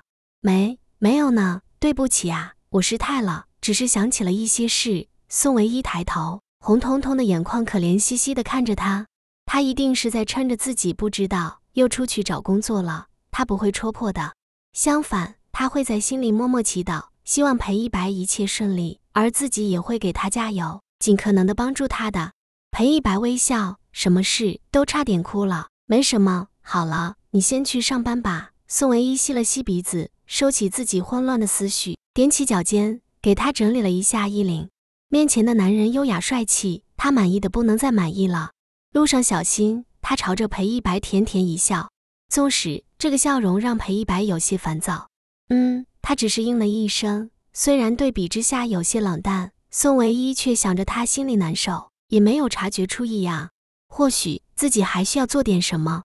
宋唯一歪着头想了一下，终于给他想到了一个办法，一个可以拉近他们之间的距离，并且又能让他有光明正大的理由亲近他的机会。他疾步转过身，高声叫住裴一白的身影：“等一等，裴一白。”我还有事没说，他的声音清甜悦耳。裴一白几乎下一瞬的顿住脚步，他也不知道为何这么快的动作，在听到他这一句话之后，几乎是下意识的动作。还有什么事？他绷着脸，故意冷淡的回答。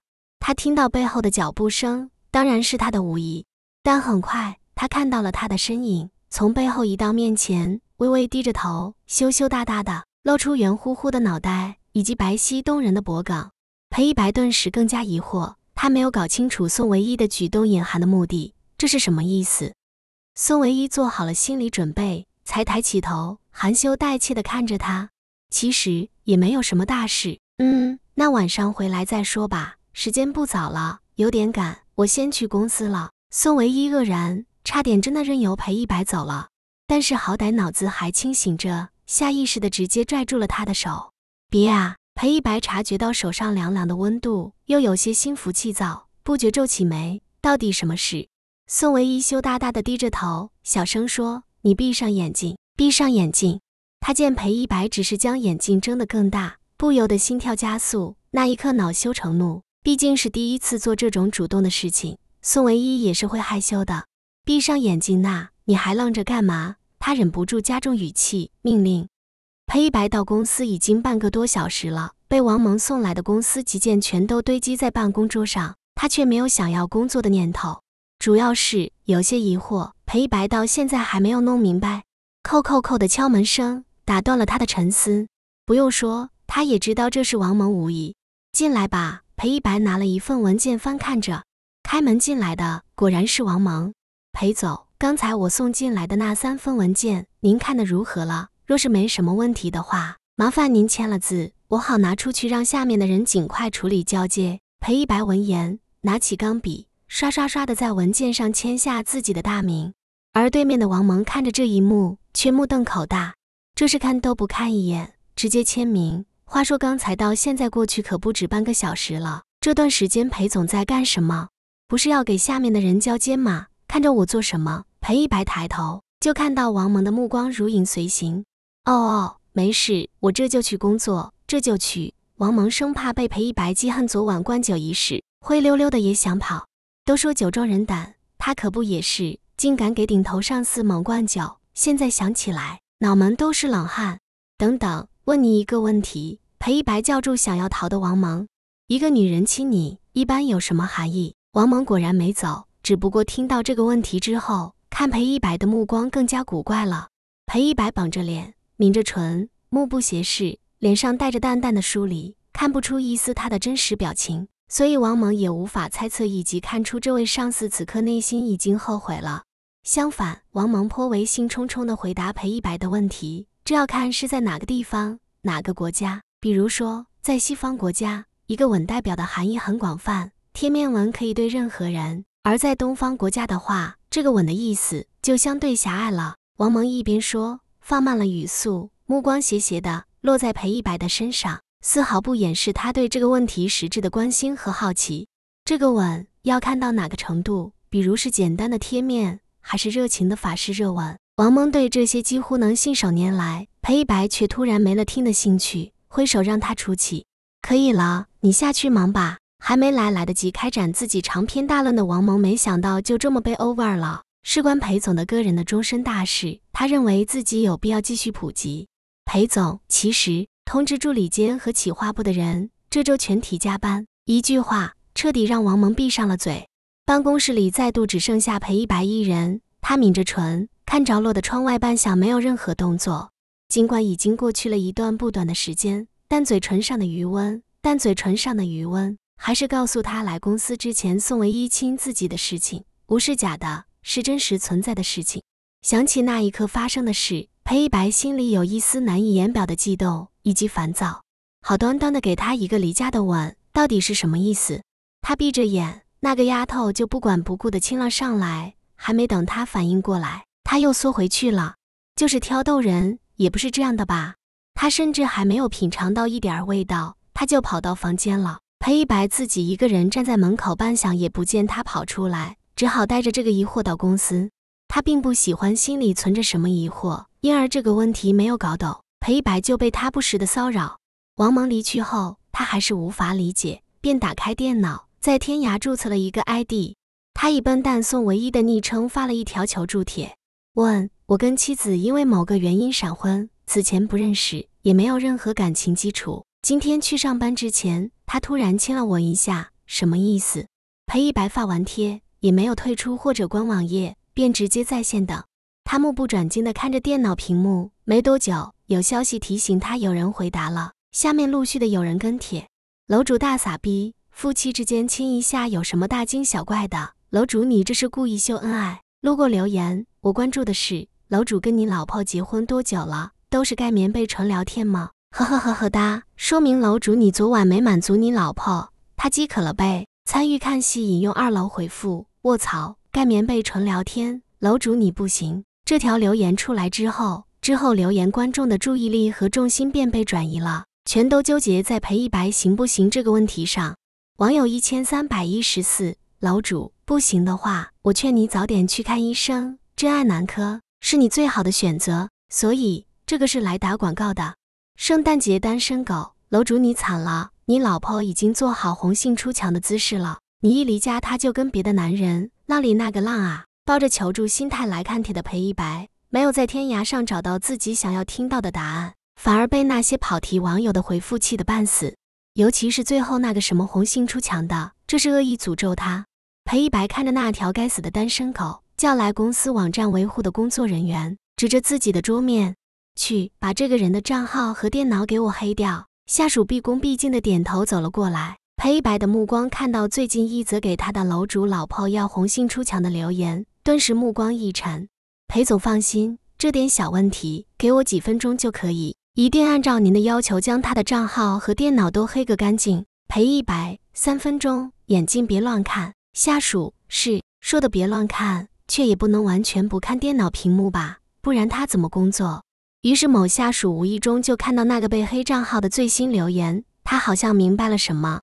突然，旁边一声怒喝：“到底会不会？不会就给我出去！”一番惊心动魄的斗争之后。那个昵称“圣诞节单身狗”的账号和电脑被彻底的黑了。这一科技，宋唯一蹲在外面守株待兔，已经三个小时了。他拿着手里的一个照片，这是宋唯一扭扭捏捏、小心翼翼的从赵萌萌那边挖来的。据说智易科技的老板就是其中之一。烈日灼灼，宋唯一低尾身于一个小小的阴影中，半靠着墙，他只能委身一个小的阴影里面，怕自己被晒成炭。便小心翼翼把身上说完防晒衣往下扯。人是必须求的，但是美貌也是要的，两者不矛盾。宋唯一一边涂防晒霜，一边碎碎念：三个小时换了以前，他早就甩袖走人，但这一次不一样，因为是赔一百。而这三个小时枯燥的等待，宋唯一差点躲在角落里睡着了。头顶上的太阳一次次将他往墙的里面逼，以至于现在的宋唯一就是紧贴着墙的古怪造型。就算你是大 boss，也不能这么任性啊！想不来上班就不来上班嘛！说好的以身作则，说好的以德服人呢？所以告诉你，你躲在这里到底想干什么？宋唯一低着头隐藏的那一瞬，耳边突然响起了一道男中音。他被吓了一跳，眼睛瞪得大如铜铃，因为没有料及突然有人出现，并且靠得那么近。宋唯一想要闪躲，却猛地往后栽倒。哎，你小心！这话已经说得太迟。等顾景辰反应过来，宋唯一已经跌倒在了地上。哎呦，我的腿！宋唯一呜咽一声，整个人痛得一阵阵抽泣。脚没有扭到，然而跌下来的时候被擦伤了一块，右脚的脚踝上磨破了一大块皮，又红又肿。还渗透着血丝，看起来有些骇人。宋唯一呆呆地看着那里，差点给跪了。喂，你没事吧？都让你小心了。顾景晨从矮矮的缓台一跃而下，见地上的女孩捂着伤口，龇牙咧嘴，心头一跳。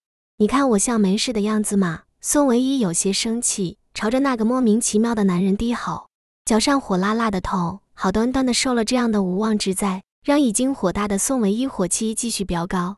抱歉，抱歉。我不是有意要吓唬你的，只是觉得你一个人躲在这里怪怪的，想过来看看。宋唯一竖起脸，食指指着自己，怪怪的，我怎么怪了？你怎么不说你吓人？他是不会承认自己这个举动怪的，要说也是美美的。这个男人先是吓到了他，后又是用错误的词去形容他，不可忍。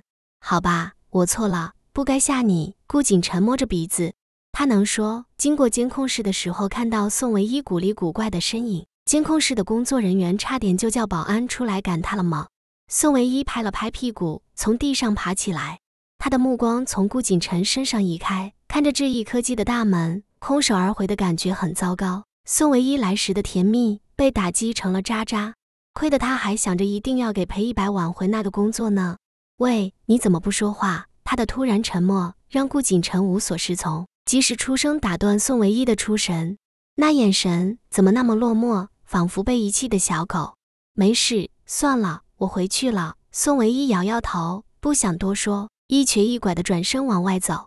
你的脚受伤了，我送你去医院看看吧。不用了，又不是多严重。顾景晨小跑上去，别啊，这样我会于心不安的。怎么说也是因为我你才受伤的，不是？女孩子嘛，要是留了疤怎么办？女孩子生性爱美。宋唯一自然也不例外。本来打算大事化小，小事化了了，在听到对方说留疤的时候，心里确实有点发怵。同意了，那就走吧。你在这里等一会儿，我去拿车。察觉到宋唯一眼底的松动，顾景辰立马道：“也不管宋唯一同不同意。”顾景辰乐颠颠的去开车了，低头看了看脚踝处那片伤口，看着依然触目惊心。宋唯一最终还是妥协了。要是真的留了疤，会很丑的。到时候裴一白嫌弃了怎么办？上车吧，就去最近的医院好了。开车过去只需要十分钟。上车之前，宋唯一的动作突然凝住了，眼神略带防备的看着对方。他觉得自己的防备心太轻了，差点真的乖乖上了车。如果对方是个人贩子呢？虽然宋唯一不觉得自己这么大的年龄会有人想要拐卖自己，但是有些东西毕竟难以意料。有道是知人知面不知心。那些拐子就喜欢用诚挚的脸去骗取别人的信任。坐在驾驶位上的顾景晨半晌没有等来宋唯一，不由得抬眸，这一看不得了了，他非但没上车，反而是扭了个头，直接背对着他走了呢。那一刻，顾景辰被气笑了，这个丫头成啊，当面一套，背后还给他来一套，难得一次好心帮忙，没想到被倒打一耙，人家还不稀罕。他发动了车子，得。不稀罕就不稀罕吧，少爷，我也不陪你玩了。宋唯一用了五分钟走到便利店，买了几块 OK 绷，坐下正要处理伤口，砰的一声，桌子上突然多了一个袋子。他肩膀一抖，正要看哪个人故意吓唬，没想到抬头看到的还是刚才那个人。你跟着我干嘛？宋唯一先声夺人，往后一靠，目光偷偷的看向便利店里面。这么明显，店老板应该看得出来他被人欺负了。不会见死不救吧？哼，谁跟着你了？那你什么意思？宋唯一盯着面前的袋子，因为是透明胶带，他只稍稍看了一下，便看清楚了里面的绷带、酒精、双氧水等用品，当即一愣，讷讷地看着顾景辰：“这是给我的。”他似乎误会了什么东西。顾景辰轻哼，阴阳怪气地回答：“哪能啊？若是您老怀疑我在这东西里面下了什么陷害你，我岂不是跳进黄河也洗不清了？”一开始他没反应过来宋唯一的防备是什么意思，还想潇洒的扔下他一走了之。但看到他走路一瘸一拐的，终究是心有不忍。被他戳破，宋唯一的脸上浮起一抹尴尬的绯红。啧啧啧，你见过哪个人拐子开着奥迪去拐人的？脑洞太大了，小姐，你就是按斤卖。也不值得几个钱。宋唯一听着这渐渐变了味道的话，对他产生的好感顿时消失了。你回来是故意损我的吗？虽然他说的某些话没有错。对，好男不跟女斗。你这个伤口，你以为拿 OK 绷贴一贴就没事了？太天真，不好好处理，小心破伤风。他拆开那个塑料袋，将能用上的东西都拿了出来。这下宋唯一不跟他客气，低着头处理自己的伤口。话说你躲在制衣公司门口干嘛？好歹在里面大厅等人吧。顾景辰在旁边递工具，一边跟宋唯一瞎扯。你管我？宋唯一警惕性未减，将双氧水涂在伤口上，顿时一阵火辣辣的痛。说话的时候不由得带了几分怨念。这不是关心你吗？你若是找里面的人的话，没准我还能帮得上你呢。这话一出，宋唯一的眼睛顿时亮了。他可以帮忙。你那是什么眼神？顾景晨心里咯噔一声。哦，没什么。话说你是智易科技的员工嘛？你怎么不用上班？顾景晨随便找了个借口出去办事。哦，办事可以四处溜达啊。你老板不说你？话说你老板人如何？好相处吗？凶吗？事关裴一白，宋唯一无比慎重，能找到智易科技的一个人引荐，就再好不过了。你这么好奇我们老板干嘛？顾景辰满脸疑惑。他可不认识这个小丫头，找他有事，很重要的事啊。宋唯一是个话篓子，憋着裴一白在智易科技遇到的委屈，他不敢对别人说。难得遇到一个智易科技的内部人员，宋唯一忍不住大吐苦水。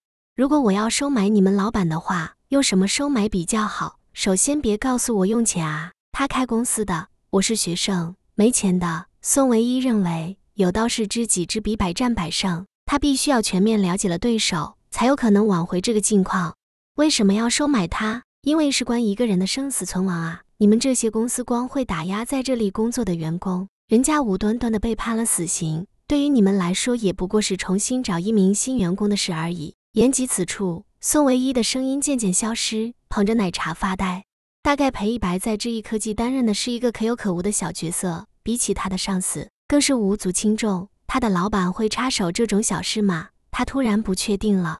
你说说什么生死存亡吧，我怎么有点听不懂？顾景晨苦笑，不是听不懂，是越听越糊涂了。我一个很重要的人在智易科技工作，被上司陷害，丢掉工作了，所以你想要挽回。顾景晨几乎瞬间猜到了宋唯一的心思。对于宋唯一的举动，他眸光流转，直视着他。那他人呢？知道你为了挽回他的工作做的努力吗？宋唯一摇头，他的目的可不是为了被裴一白知道。是个男人，你怎么知道？宋唯一惊奇地问。这个人猜的一个比一个准，真叫人意外。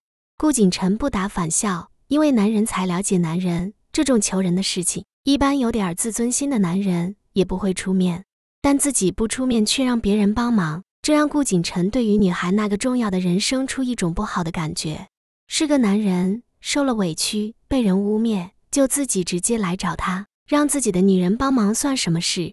那你的老板人怎样？会不会愿意插手这种事啊？看着丫头这么积极的为那个人求情帮忙，也可以猜测那个人对他的重要性，应该是他喜欢的人吧？否则怎么会如此？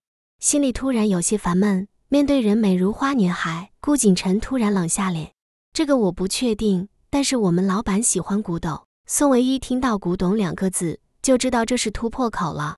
但知道突破口的他，却比不知道更难受。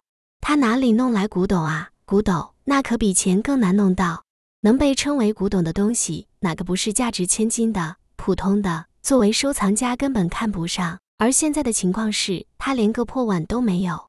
你住哪里？我送你回去吧。我叫顾景晨。顾景晨故意当看不到他的愁眉苦脸。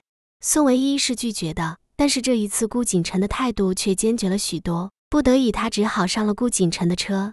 回到家门口，刚下车，却见外面站着一个白色衬衫的男子，认真一看，发觉竟然是傅修燕。坐在驾驶位上的顾景辰也看到了对方，目光颇为挑剔的在傅修燕身上划过，审视的意味十足。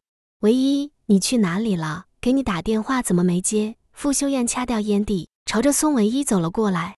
宋唯一给他比了个一会儿再说话的动作，扭头跟顾景辰道谢：“我到了，谢谢你啊。你回去的时候小心开车，再见。”顾景辰听到他乐颠颠的道别，气不禁打一处来。这么大老远的跑了一趟，连请他上去喝杯水都没有，真是势利的家伙。又见宋唯一已经跟那个男人会合，叽叽喳喳的讲话了，心里不免酸。得了，人家眼里心里全都是情郎，你一个被当成人口贩子的人，还想去人家那里喝水，脑子秀逗了吧？车子被发动，加大油门，猛地一溜烟从他们的旁边经过。刚才那人是谁？有点面生。宋唯一摇头，知道是一个朋友，不欲跟傅修燕多说裴一白的事情。后又想起，既然裴一白的事情傅岐山已经知道了，那大概傅家的人全都知道了吧？宋唯一突然觉得心塞，便问傅修燕：“大哥怎么来找我了？有什么事吗？”跟日理万机的荣景安差不多，傅修燕也不经常在傅家。不过宋唯一跟他的感情还算过得去。虽然傅修燕不见得很照顾自己，却也比傅岐山的欺负要好得多，甚至偶尔还为他说过话。嗯，也没什么事。爸爸就快生日了，打算商量一下怎么办生日的问题。你也知道，这一次他的生日。势必会比之前隆重。宋唯一点头，所以，所以傅修燕是来接他回家吃饭的。回傅家，宋唯一顿时就犹豫了。那个地方对于他来说就像火坑，没必要了吧？爸爸和阿姨怎么打算就怎么办好了，我又没有什么意见。再说我现在是出嫁女。傅修燕扯了扯嘴角轻笑，出嫁你也是爸爸的女儿，你也有说话的权利。但是说了没人听呐。宋唯一心里补充道：那。今晚除了自家人之外，还有别人吗？该不会又有圣老或者什么老吧？没有，只有我们。尽管傅修燕已经做了保证，宋唯一还是不太相信。好不容易在傅家解脱了几天，这一次肯定又是鸿门宴。尤其是傅修燕说，爸爸只让他一个人回去，意思是不承认裴一白的身份了。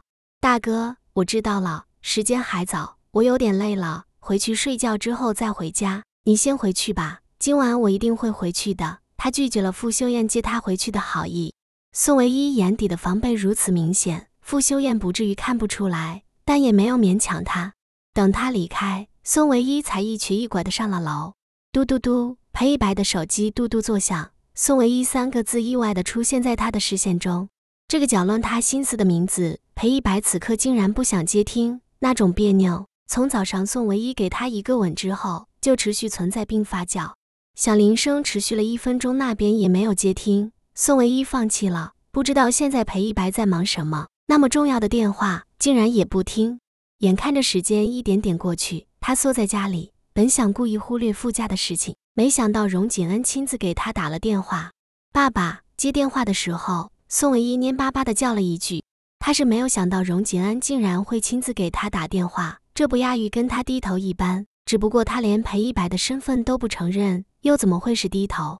荣景安在那边哼笑，原来还知道我是你爸爸啊！连回个家都要我给你三请四请的，是不是需要我派一辆加长林肯，你才愿意高抬贵脚上车？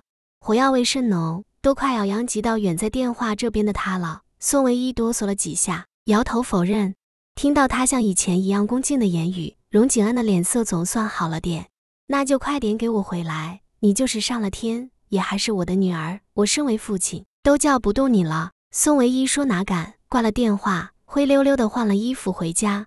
他想裴一白连个电话都没接，又有些担心，难道是出什么事了？这样一来，心里不免又七上八下，更加不想回傅家了。这一次倒是像傅修燕说的那般，只有他们自家人，还傻愣在门口干嘛？荣景安冷冷看了小女儿一眼，没好气的呵斥，他的不高兴已经明明白白的表现在了脸上。当然没有看到裴一白的身影，让荣景安多少还是有点满意的。若是宋唯一不听话，非要带裴一白过来，这饭也不用吃，气都被他们气死了。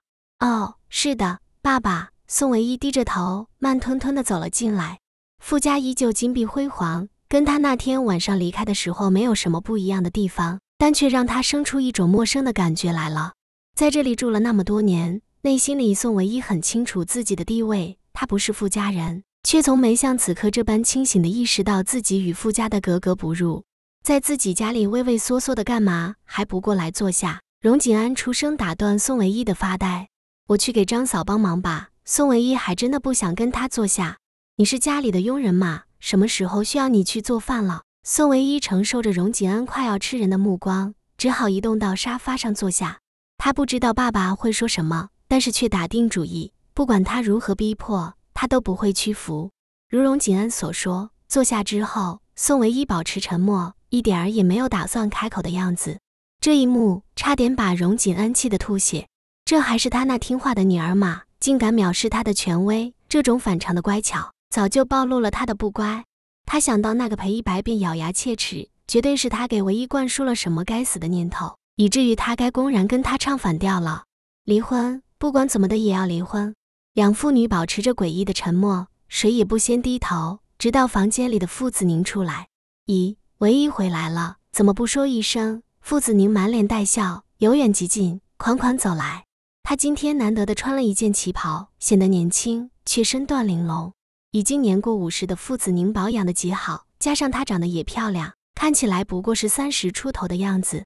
宋唯一怔了一下，刚才第一眼看到傅子宁的时候，他有种看到自己母亲的错觉。印象里，妈妈最喜欢的便是旗袍。还告诉她，女孩子就要穿这样精致纯粹的东西。可是宋唯一一次也没有穿过。怎么了？发什么呆呢？傅子宁已经走到了宋唯一的面前，一阵淡淡的清香扑面而来。宋唯一立马移开视线，从沙发上站了起来。没见过阿姨穿旗袍，乍一见了，有些惊叹呢。真漂亮，这是恭维，也多少带了真心的意思。好话谁不爱听？傅子宁的手摸了摸头上精致的发簪。笑得异常和蔼，你这丫头几天不见，倒是嘴甜了不少。宋唯一正要深思这句话的含义，傅子宁的手已经越过两人间的距离，落在他的肩膀上。宋唯一半晌没反应过来，尤其是面前的傅子宁，用堪比慈母般的目光看着自己的眼神，他只觉得浑身鸡皮疙瘩，反常，太反常了。阿姨，宋唯一轻轻叫唤，傅子宁的手已经爱怜的由宋唯一的肩膀移到他的脸上。那一刻，宋唯一感觉仿佛毒蛇在朝着自己吐舌信子，不动声色间麻痹了自己，然后才一口咬过来。几天不见，认真一看，唯一竟然瘦了，好不容易养了一点肉，你看着脸，蜡黄蜡黄的。宋唯一终于明白了傅子宁反常的原因，因为这话一出之后，荣锦安就被触及到了火气，直接从沙发上跳了起来。哈，瘦了，我看他乐在其中呢。否则能嫁给一个屁本事都没有的男人。荣锦安对裴一白的偏见不是一时半会了，但宋唯一听到他用如此粗俗不堪的语言形容裴一白，仍然很不高兴。爸爸，你别这样说，你还有质疑父亲说话的权利了？谁给你的？荣锦安如被点着的炮仗，瞬间朝着宋唯一发难。别以为你不说就没人知道，裴一白不是丢工作了吗？他这会儿不是手忙脚乱四处奔窜了吗？哈！我用没有屁本事来形容，还形容错了。宋唯一不畏惧的抬高下巴，大声为裴一白辩驳：“那是因为他优秀，才承受了一些不该承受的压力。明明是别人陷害，又不是他的问题。若不是他没本事，不是小小的员工，而自己是老板，你觉得会出现这样的情况吗？”乱嘴皮子，宋唯一自然不见得是荣锦安的对手。这一句话直接堵住了宋唯一的后路。还优秀，也就只有你。才会认为这样的男人优秀，简直是丢人现眼。被人传出去，我荣锦安的女婿，别说有一份自己的事业了，连一份体面的工作都没有，还不知道怎么嘲笑我呢。所以，他考虑的只是被不被人嘲笑。至于女儿的幸福，他丝毫不在乎的。孙唯一看着自己近在眼前的父亲，浑身的力气仿佛被抽干一般，流逝到不剩分毫。爸爸，你还记得十一年前你接我回傅家的时候？怎么跟我妈妈说的吗？孙唯一抬头凝视着自己的父亲，或许他已经不记得了，又或许他那个时候只不过随口说一说的，为了让母亲安心的走完这一生，免得落得个死不瞑目的地步。毕竟他们也曾经是恋人啊。他或许心肠没有那么硬，看着将死的人难受。他不记得了，可宋唯一却记得清清楚楚。那么可怕的医院，安静、刺鼻、恐怖。妈妈的病床上还有红艳艳的血迹，她的手抓着自己，另一只手却被荣锦安握着。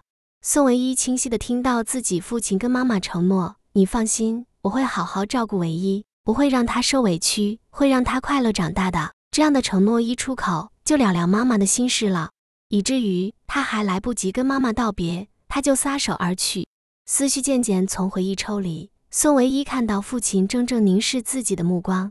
这些年，我很感谢爸爸当初把我接回傅家，也很感谢阿姨愿意接纳我。我知道裴一白的身份不被爸爸喜欢，所以爸爸害怕因为裴一白被人嘲笑是正常的。尽管安慰自己不哭，鼻子却还是酸涩的厉害。宋唯一苦笑，感情是控制不住。从傅子宁今天的出场方式，就让他想起了自己的母亲。到现在自己再度提起，思念更是如潮水般涌来。可是除开裴一白，又有谁能给我幸福呢？女儿要求的东西不多，不求大富大贵，不求锦衣玉食，只求一份真心和一份安稳罢了。你，荣锦安脸色铁青，发出一个你之后，却没有再说什么。宋唯一见好就收，低着头匆匆说了一句：“我去个洗手间。”关上门，宋唯一将自己锁在洗手间里。外面传来荣锦安和傅子宁低低说话的声音，因为距离远，不是很清楚。估计傅子宁在游说爸爸吧，毕竟一千万是那么大的一笔钱，傅子宁喜欢是正常的。发着呆，手机突然嘟嘟作响，瞪着屏幕上“裴一白”三个字，宋唯一有些赌气的想不接了。刚才他打了那么久也不回他的电话，他干脆以其人之道还治其人之身。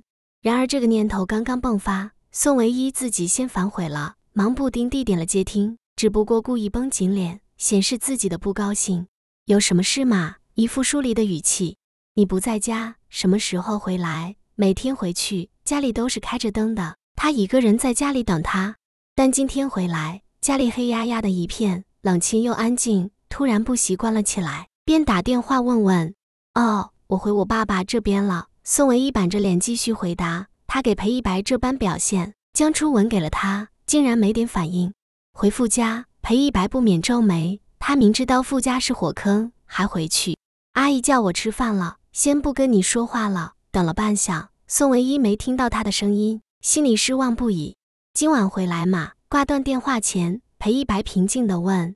宋唯一不回。这一次鸿门宴比宋唯一想象中的安静一些。因为荣锦安朝着他发难的次数比之前少了那么一点儿，所以晚餐有惊无险的吃完了。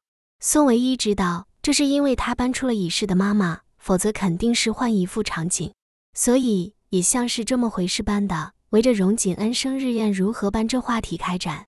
等商量完这些事项，已经快十点了。宋唯一打了几个呵欠，有点困。那就这样吧，不早了，你们要睡觉的话，各自回房间吧。宋唯一的瞌睡虫一下子跑光，终于解释了，他不由得庆幸，睁开眼站了起来。那爸爸，我先回去了。宋唯一在旁边充当的就是路人甲的角色，根本没有机会发言，早就恨不得离开了。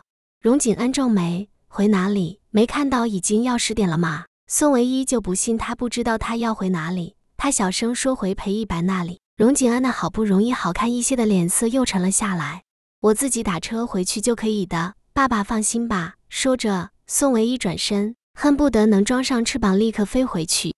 给我站住！荣锦安暴喝一声，声音之大，吓得宋唯一心里哆嗦了一下。这反应跟那天刚知道他跟裴一白结婚的时候相似啊。只不过宋唯一想不清荣锦安这般生气的原因。爸爸还有什么事要吩咐吗？宋唯一没有坚持跟他唱反调，因为现在是在傅家，他没那本事唱。让你给我乖乖待着，听不到。可是我不回去的话，裴一白会担心的。宋唯一就怕他强行留人。哦，是吗？为什么这么久了？裴一白既然担心你，为什么连个电话都没有给你？在洗手间的时候，他给我打电话了。宋唯一委屈的解释，只不过荣锦安并不接受。他摆手，别解释了。当你爸爸，我很好骗。十点钟外面连个出租车都打不到，你别想一个人回去。可是。宋唯一不甘心，谁说打不到车了？别那么多可是，你李叔叔都已经下班了，明天回去又怎样？唯一，你硬要跟我唱反调，小心我收回跟你的那一个星期的约定。收回约定，宋唯一顿时整个人清醒了过来。他好不容易争取到的机会，怎么舍得放弃？只需要再坚持两天，他就可以获得自由了。清醒过来之后，他自然不再试图做无用功。爸爸，您别生气，我只是有点担心裴一白而已。我这就给他电话，告诉他今晚不回家了。宋唯一换了一张笑脸，虽然笑的不是很发自内心。荣锦安利也不理宋唯一，背过身，直接给了他一个背影，回了房间。傅修燕不知何时出现在客厅，嘴角带着微笑。唯一，这个时候你乖乖听爸爸的话吧，别惹怒了他。我知道了，大哥。直到客厅里只剩下自己。宋唯一的浑身才松懈下来，耷拉着脑袋，一屁股坐到沙发上。没想到跟裴一白的笑谈竟然一语成谶，真的不回家，心塞到不行。十点多了，他在干嘛？吃过饭，洗完澡了吧？或许又埋头于工作。他真搞不明白，他怎么会那么忙？就算是要伪装，也不见得需要天天将工作带回家吧？就不怕他因此而更加疑惑？好吧，我欠了你了。不过问一下，我就不放心。宋唯一嘴里咕咕哝哝，拿出手机，看着他的名字许久，宋唯一才拨电话。一日不见，如隔三秋。不知道他怎么想的，但他是真的想他了。明明早上才见过啊！本以为裴一白的声音能缓解一下自己的相思，却不曾想到裴一白竟然没有接电话。对不起，您所拨打的用户已关机，请稍后再拨。这个答案叫宋唯一泄气不已。关机，他竟然关机！一夜没睡好的结果，便是顶着大大的黑眼圈起床。接触到房间内的摆设，宋唯一才猛地回过神，这是傅家，而不是他跟裴一白的小家。手机安安静静的放在桌子上，昨晚到现在都没有想过。宋唯一撇了撇嘴，裴一白好狠心，竟然一个电话也不给他打。他清醒过来，跑到浴室洗了把脸。唯一，起床了，那么早，下楼。父子宁颇为惊诧，那刚好一起吃早餐吧。你爸爸也在，他还要去上班呢。宋唯一还没反应过来，就被父子宁拉到了餐厅。荣景安看到他，抬了抬眼皮子，便是对宋唯一的反应。还有零花钱吗？宋唯一以为自己听错了，却见荣景安板着脸直勾勾地看着自己，确实是爸爸问的无疑。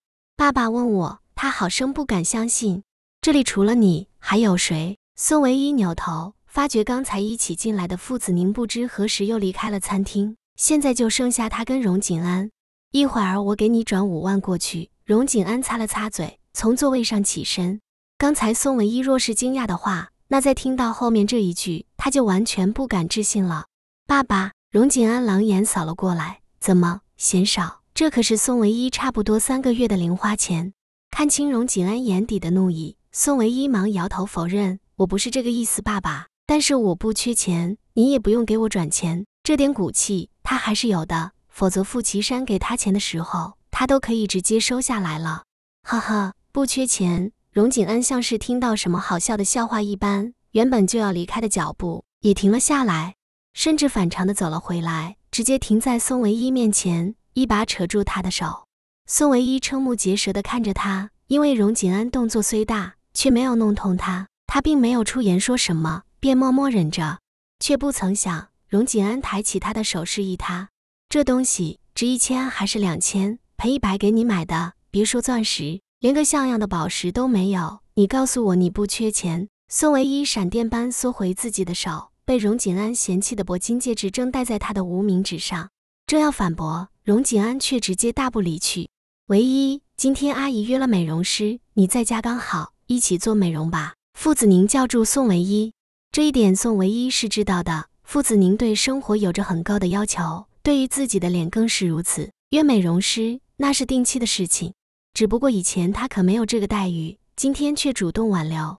父子宁微微一笑：“你爸爸的要求。”爸爸。宋唯一皱了皱眉：“我去上班了。”正说着，傅修燕从楼梯上下来，目光瞥了宋唯一一眼，带着一丝安抚。这个家里唯一给予温暖的，也就是这个大哥了。宋唯一点点头，大哥路上小心。还没吃早餐呢。父子宁看到爱子，忍不住抱怨，注意力从宋唯一身上转移到傅修燕身上。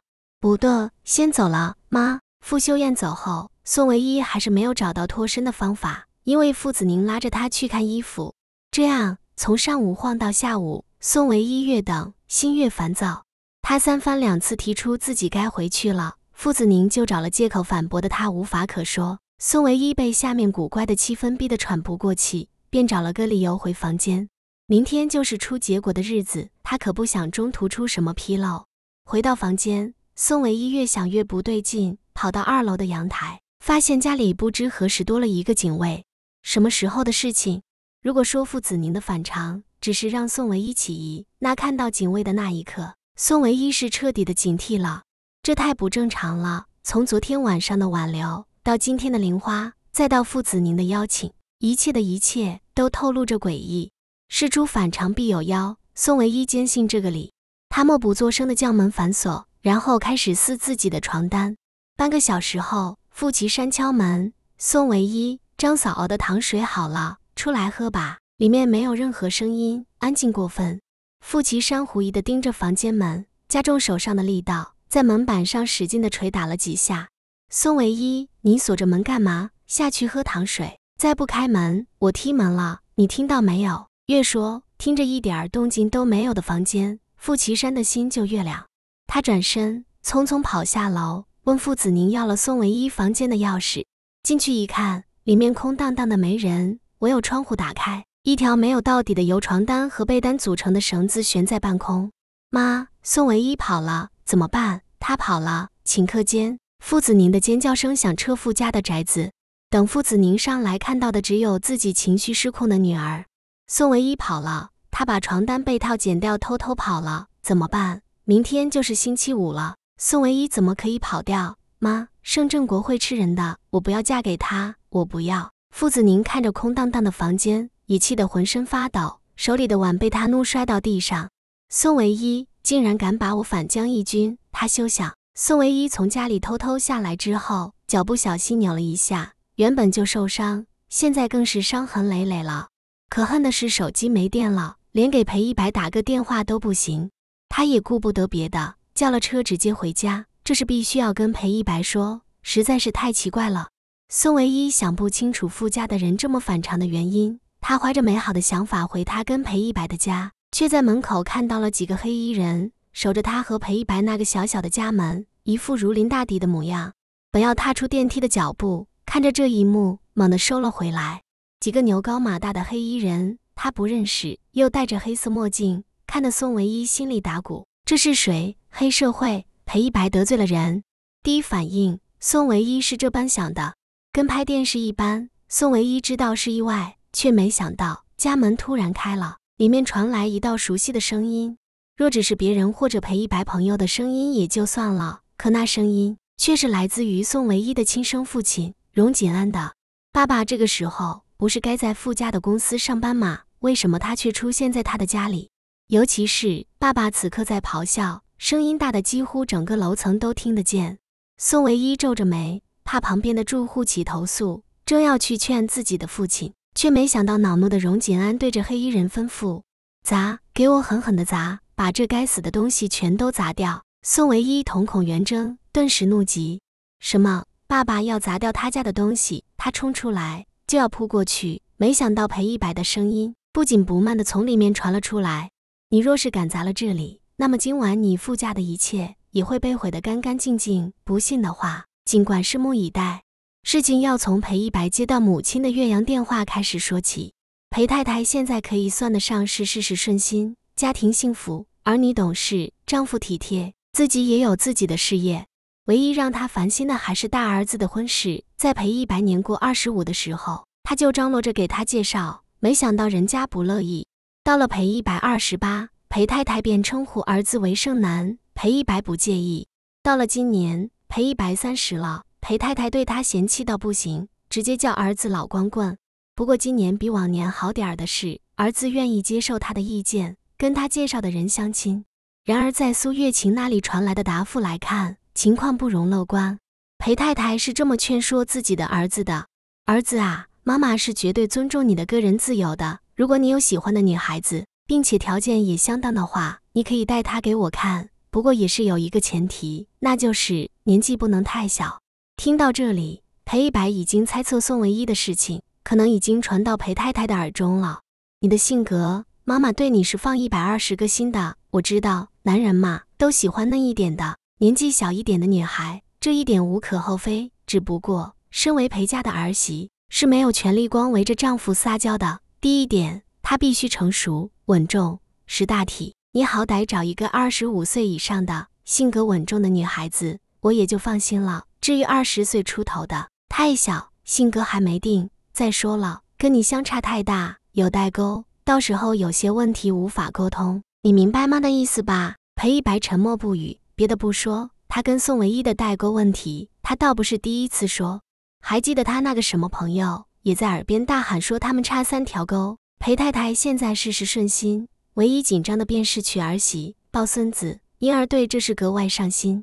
作为儿子的裴一白，生了姐自己母亲的性格，在裴太太在电话里耳提面命超过十分钟的时候。就以自己工作还忙为由挂掉了电话，而裴太太也深知自己儿子的性格，肯定是嫌弃他太唠叨，不愿意听。远在国外度假的他不能离开飞回来，于是便想到了另一个人，那就是裴一白的弟弟裴一婷。没多久，裴一白的公司多了一个小跟屁虫。裴一婷今年才十岁，是个粘人却又霸道的年纪。大哥，别工作了，听说郊外开了家马场，你带我去骑马吧。期末考多少分？裴一白这话一出口，裴一婷立马进了声。考试成绩是他的死穴，这一招百试百灵。要么你乖乖到沙发上看书，要么叫老张送你回家。裴一白扫了弟弟一眼。后来，裴一婷选择了先在沙发上看书，后年载他回家。裴一婷，你自己回去，我有点事，最近不回家。为什么不回家？难道是交了女朋友？裴一婷眼珠子转了转。顷刻间想到这个可能，哪来那么多问题？快点回去，下周一开始家庭教师会去给你上课，你给我安分一点。裴一白直到亲眼看着弟弟上了车，才放松警惕，打了个车回到住的地方。在家门口看到来势汹汹并且明显没带善意的荣锦安，裴一白有一瞬间的惊讶，但惊诧之色只在他的眼眸出现了片刻。您怎么来了？请进。像是没看到门口的黑衣护卫一般。裴一白面色如常的给荣锦安开了门。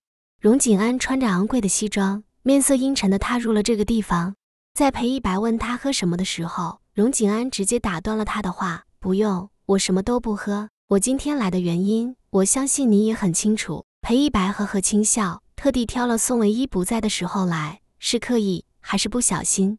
抱歉，我并不清楚。这句话让荣锦安本就阴沉的脸色更难看了，但他没有爆发。只是冷笑，指着裴一白：“你要装到什么时候？你明知道我不会同意你跟唯一的婚事，你还打算自欺欺人到什么时候？”裴一白双手负于身后，淡淡一笑：“结婚是我跟唯一的事情，跟您说是出于对您的尊重，而不是对您的畏惧。如果宋唯一不想跟我结婚，要跟我离婚，只需要他一句话，我自然会配合到底。”